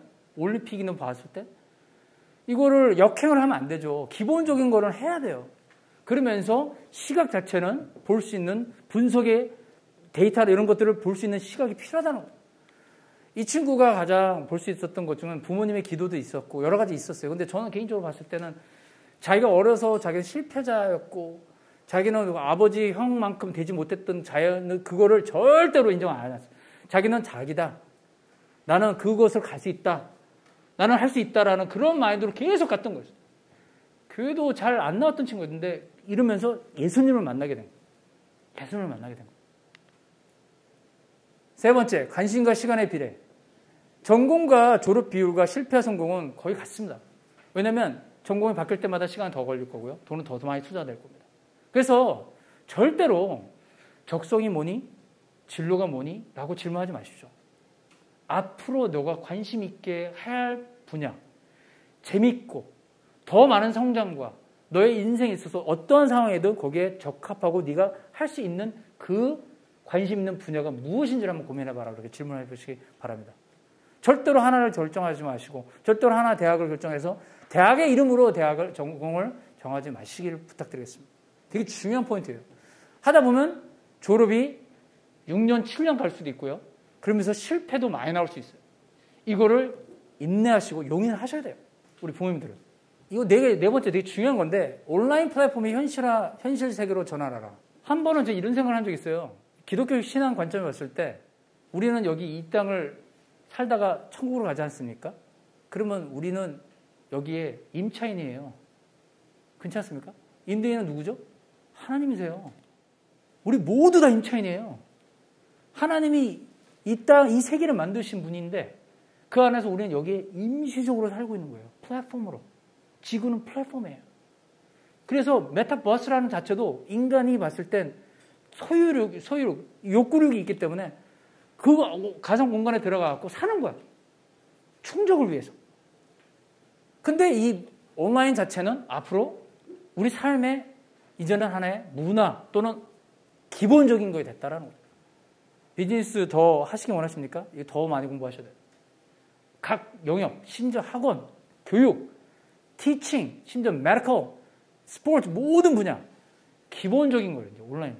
그렇기 때문에 이거와 동떨어지는 적성, 직업은 이제는 끝났다고 생각해요. 이게 온라인으로 이번에 코로나 때문에 온라인으로 했다 안 해요. 그 과정이 있었어요, 저희가. 그게 좀 땡겨진 것 뿐이지. 땡겨진 것 뿐이에요. 그 가치가 더 올라간 것 뿐이고, 그에 대한 관심이 더 올라간 것 뿐이에요. 그렇기 때문에 직업, 교육, job, 삶 자체가 이제는 온라인화 돼야 된다는 것입니다. 그것이 적성이고 진로일 겁니다. 분명했습니다. 학교 규모, 교회 규모, 이제 작아질 겁니다. 분명히 온라인 형태가 더 커지고, 온라인 school이 더 커질 거고, 온라인 교회가 더 커질 거예요. 분명히. 여기에 대한 대비가 있어야 된다고 저는 개인적으로 생각해요. 그래서 아까 쭉 말씀드린 것처럼 이 내용을 제가 봤을 때 저는 아까 전인격 교육이라는 단어를 썼을 때 이거를 신앙으로 봤을 때는 예수님의 제자가 전인격이라는 단어를 쓰게 될 수밖에 없다. 왜? 제일 중요한 계명이 뭐냐라고 질문했을 때 하나님을 사랑하고 그쵸? 내 이웃을 내 몸과 같이 사랑하라고 하셨잖아요. 그리고 결과적으로 예수님은 우리에게 단순히 한 대만 잘하지 말고 전적인 사람이 돼야 된다라는 예수님의 제자화를 말씀하셨습니다. 그래서 결론이 뭐냐? 제 결론은 뭐냐? 신앙 교육을 잘 받은 애들은 신앙 안에 잘 된 애들은 어쩔 수 없이 잘 될 수밖에 없다는 거예요. 걔네들이 정말 못될 애들이 없죠. 뭐 공부 좀 부족해도 괜찮아요. 그런 아이들은 결과적으로는 신앙과 인성과 전체적인 관점 자체가 잘 돼 있기 때문에 전익화가 돼 있기 때문에 그 안에 어떠한 인지와 또한 지혜가 문이 열리는 그 순간에 그것이 분명히 폭발적으로 터질 겁니다. 그 시점은 우리는 모르죠. 그때까지 기다려야 돼요. 그때까지 기다려야 돼요. 마지막 믿음으로 내려놓으시기 바랍니다. 참 어려운 단어입니다. 성경의 많은 질문 중에 하나가 내 믿음이 내 믿음이. 자문서에 나오잖아요. 사람의 마음으로 자기 길을 기획할지라도. 그 걸음을 스텝 인도하시는 이는 여호와 신이라. 믿으십니까? 우리 고백해야 돼요. 저희 어머니가 2주 전에 아프셔고 누우셨다고 제가 말했잖아요. 저한테 딱 하신 말씀. 너는 너의 자녀를 그렇게 끌고 갈 생각 하지 말아라. 제가 딱 5분 만에 끝내겠습니다. 저는 6학년 때, 5학년 아, 때구나. 5학년 때, 6학년 때 대추동으로 흔히 말하는 엄마 아파트로 이사를 갔습니다. 성남에서. 어, 저희 부모님이 교육을 시키시려고 간 거죠. 그러고서는 거기에서 제가 대학교 2학년 때까지 살았어요. 그래서 그 강남에서 있으면서 제 친구들하고 이제 했는데 그 와중에 독서실, 흔히 말하는 과외, 과외도 중학교 1학년 때부터 받았습니다. 저는 학원을 다녀본 적이 없어요. 다 과외로 받았지. 근데 그만큼 부모님이 많이 해주셨어요. 심지어는 스파르타 학원이라고 들어보신 적 있어요? 한 3개월 동안 거기 들어가갖고 철장에 들어가갖고 못 나오는 거예요. 오늘 눈을 딱 떴는데 아버지가 짐 싸래. 중3 때였어요. 중3 그때 고등학교 합격하고 그러고서는 이제 3개월 동안 있는데 선행학습해야 된다고. 그래서 끌고 들어갔어요. 그래서 지금 치면 구리 완전히 그 깡총했어요. 그 논밭에 딱 빌딩 하나에 철조망이 있는 스파르타 학원에 저를 집어넣으셨어요. 그러고선 공부를 했는데 공부를 잘했을까요? 잘 못했습니다. 공부에 대한 동기가 없었어요. 근데 엄마 아버지는 공부를 시키시려고 하셨어요. 근데 공부를 하려고 했는데도 공부 좋을 결과가 안 나. 그러다가 대학을 한 번 떨어지고, 두 번 떨어지고, 심지어 세 번 떨어졌어요. 그러니까 나중에는 어머니 아버지가 포기를 하시더라고요. 어떤 포기냐면 내가 시킨다고 해서 되는 게 아니다라고 생각을 하신 거예요. 그러고 난 다음에 저는 공부를 열심히 했지만 그렇게 좋은 결과가 없었어요. 그러고서는 제가 이전에 대학을 하나님한테 내가 신학은 좀 해보고 싶다. 근데 그 당시만 해도 신학교 가면 다 공부 못한다고 생각했어요. 그래갖고 우리 우리 큰아버지가 저한테 너 어느 대학 갈래? 했더니 신학교 갈래. 그래 거기다 가라. 이렇게 얘기하시는. 아직도 생각나. 신학교 갔는데 너무 회의, 또 흔히 회의가 되는 거예요. 왜냐면 나는 그나마 공부를 좀 했는데 애들은 다 못한 애들이 왔다라고 생각하니까 너무 큰 교만이 들어가더라고요. 그러고 있다가 제가 갈라디아서 1장에 나오는 사도 바울의 고백을 제가 봤어요. 그게 뭐였냐면 갈라디아에서 사도 바울이 회심을 하고 난 다음에 사, 그 사우디아라비아로 갔어요. 아라비아로. 거기서 3년을. 거기 가서 뭐 했냐면 3년 동안 다음에 사역 준비를 했어요. 그리고 회개를 하고. 그걸 보고 난 다음에 제가 느낀 게, 어, 나도 변해야 되겠다. 나도 변해야 되겠다. 그러고 난 다음에 열심히 그때부터 공부를 하면서 어느 날 갑자기 제가 이제 군대를 가게 됐는데 군대를 가기 전에 갑자기 병이, 병이 생겼어요.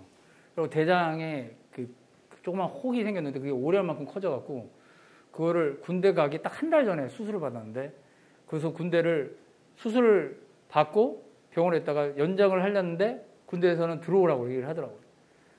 그래갖고 육군으로 들어갔었어요. 아니, 공군으로 처음에 갔다. 공군으로 갔다가 그날 면제받고 올라온 다음에 다음날 육군으로 갔더니만 육군에서도 갑자기 저보고 면제라고 이렇게 얘기를 하는 거예요. 그래서 전 군대 이틀밖에 안 갔어요. 네. 진짜요. 저희 아버지는 해병대 출신이거든요. 군대 안 간다고 난리 쳤던 분인데 이틀 만에 3일 딱, 3일째 딱 왔죠. 머리 안 깎고 그것도. 그러고서는 아버지가 어, 이거는 하나님 뜻인 것 같다. 그러고서는 복학을 하려면 1년이 남아갖고 우연찮게 미국을 가게 됐어요. 그래서 제가 미국 간 거예요. 가는데 영어도 안 돼 있죠, 준비가? 그리고 미국에 도착했을 때 뭐 제가 뭐 아는 사람이 아무 사람 아무도 없어요. 그냥 그냥 혼자 간 거야. 그때부터 정확하게 20년간 그 와중에 IMF가 터지고 그 와중에 프라임 사건 터지고 별의 그래서 저는 뭐 할 일이 할 말이 많지만 결론이 뭐냐면 지금 과정을 쭉 보니까 저는 신학을 10년을 했어요. 그리고 PhD 과정을 합격한 다음에 갑자기 바꿨어요. 난리가 났죠, 집에서. 왜 바꿨는지 아세요? 브라질 선교 갔더니만 저는 목사, 전도사였죠, 그 당시. 전도사였는데 오히려 교육학이나 의과 하는 애들이, 의순하는 애들이 더 선교를 더 잘하더라고요. 그때 그거 충격에 너무 충격받아갖고, 하나님, 나 이제 전공을 바꿀래 하고 아마존 강 위에서 제가 그 기도한 적이 기억이 나요. 오자마자 신학교를 그만두고 그리고 경영학으로 했습니다. 경영 3년을 2년 반을 했습니다. 그러한 다음에 그 끝나고 나면 교육학으로 갔어요. 나도 모르게 간 거예요. 좀 멘토가 박, 박 교수님이 얘기를 하셔갖고 그런가 보다 하고 따라간 거죠. 하다가 보니까 10년이 된 거예요. 재밌는 게 뭐냐면 토탈 23년 정도를 했어요. 지겹죠. 저희 어머니는 지겹다고 그래요. 제 와이프도 많이 힘들었고. 제 동생도 저 거의 같아요. 제 동생도 좀 국문학과 박사인데 그 친구도 10년을 이태리어를 했어요. 이태리까, 이태리까지 가서 유학을 한 친구예요. 그런데 대학원을 졸업하기 한 학기 남겨놓고 외대에서 그만뒀어요. 국문, 국문과로 가겠다. 집안에 난리가 난 거죠. 그리고선 국문과로 한번 서울연구대 한번 가봐라. 근데 연대가 됐네. 그래서 공부를 했어요. 그래서 그 친구도 20년을 공부했어요. 제가 공부를 자랑하는 게 아니라요. 지금 쭉 와서 보니까 이 연, 이 베데스다 연못 38년 중, 둥평자의 모습을 보게 된 거예요. 이게 뭐냐면 매 순간 진로를 정할 때 기도를 해요. 하나님, 내가 심지어 고등학교 졸업하고 대학을 졸업하고 지금 대학원을 졸업하고 했는데도 불구하고 진로를 계속 기도를 하더라고. 하나님, 내가 뭘 해야 됩니까? 내가 어떻게 해야 됩니까? 근데 예수님의 질문은 뭐였냐면, 내가 그걸 하고 싶냐라는 질문이에요. 뭘 위해서? 38년 된 중풍자가 당연히 병 낫고 싶어 하죠. 근데 예수님의 질문은 뭔지 아세요? 내가 낳고자 하느냐는 질문이었습니다. 그 질문에 여자는 당연히 낳고 싶다고 얘기를 하죠. 근데 예수님의 그 기적은 낳는 데 있지 않았습니다. 그의 갈급함과 그 기적을 통한 하나님께 영광 돌리는 그 그리스도의 복음을 전파하기 위한 하나의 수단으로 방법으로 썼다는 것입니다. 근데 우리는 적성, 진로, 어떤 성취에 만족을 하면 거기서 끝나요. 근데 예수님의 질문은 계속 이 질문이에요. 내가 하고 싶냐? 근데 왜 하고 싶냐라는 무엇을 위해서? 근데 거기서 가장 중요한 건 뭔지 아세요? 내가 내려놨냐라는 거예요. 하나님이 전적으로 개입하셨던 그 순간까지 내려놨냐라는 거예요. 우리는 안 내려놔요. 우리 자녀 적성 진로 지금도 걱정해요. 앞으로도 걱정하실 거고요. 죽으실 때까지 걱정하실 거예요. 근데 그거는 절대로 성경에서 말하는 메시지가 아니라는 것을 우리는 분명히 지금도 각인시켜야 된다는 것이죠. 알매도 불구하고 망각함에도 불구하고 계속 알아야 돼. 왜? 우리의 계획은 절대로 끝까지 완성될 수가 없습니다. 내가 계획했던 잡, 내가 했던 직업, 앞으로의 직업 절대로 그거 동일하게 갈 수 없습니다. 인도하시는 그 걸음을 인도하시는 하나님이 시기 때문이라는 것입니다. 그 와중에 우리가 해야 될 것은 내가 낳고자 하는 하나님 그런 갈급함과 또한 그에 대한 목적이 무엇인지를 항상 우리 자녀와 저희가 기억을 한다면 앞으로 저는 제 꿈이 있어요. 저는 온라인 스쿨을 정말 크게 하고 싶어요. 그리고 그거를 선교지에 갖고 가고 싶습니다. 그것이 어, 제가 바라는 교육이고 그것을 위해서 저는 하고 싶어요.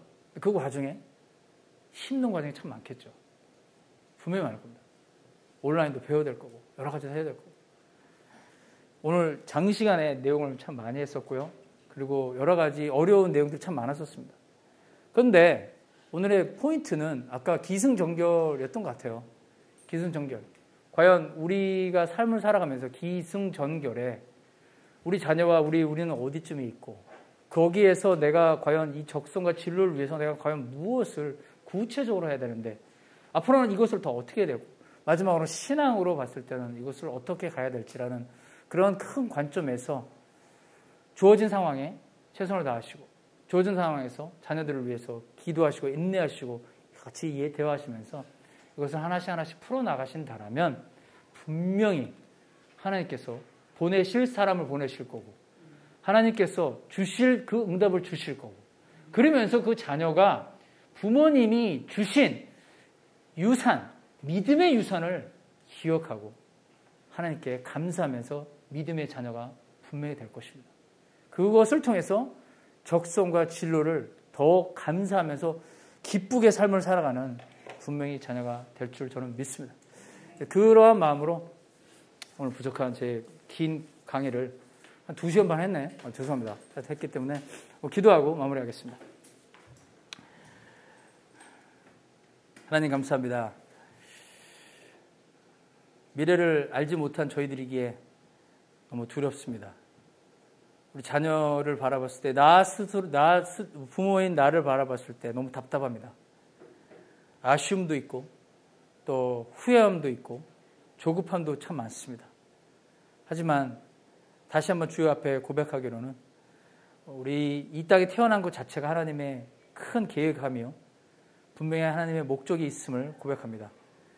그 믿음으로 저희 달려갈 길을 달려가고 우리 자녀를 주 앞에 맡기오니 주께서 인도해 주시고 축복해 주시고 이끌어 주셔서 만남의 축복과 하나님 또한 물질과 또한 영적인 강건함과 또한 건강과 내 영혼이 잘된 같이 범사에 잘 될 수 있는 그런 주님의 축복함이 우리 자녀에게 있게 도와주시고 우리 가정에 있게 도와주시고 더 나가서 우리 부모님들 매 순간 어려울 때 주 앞에 무릎 꿇고 기도하며 쉽게 막힐 수 있는 믿음의 부모님이 될 수 있도록 축복하여 주시옵소서. 어려운 시국의 시절에 하나님 저희들 이런 내용을 나눴습니다.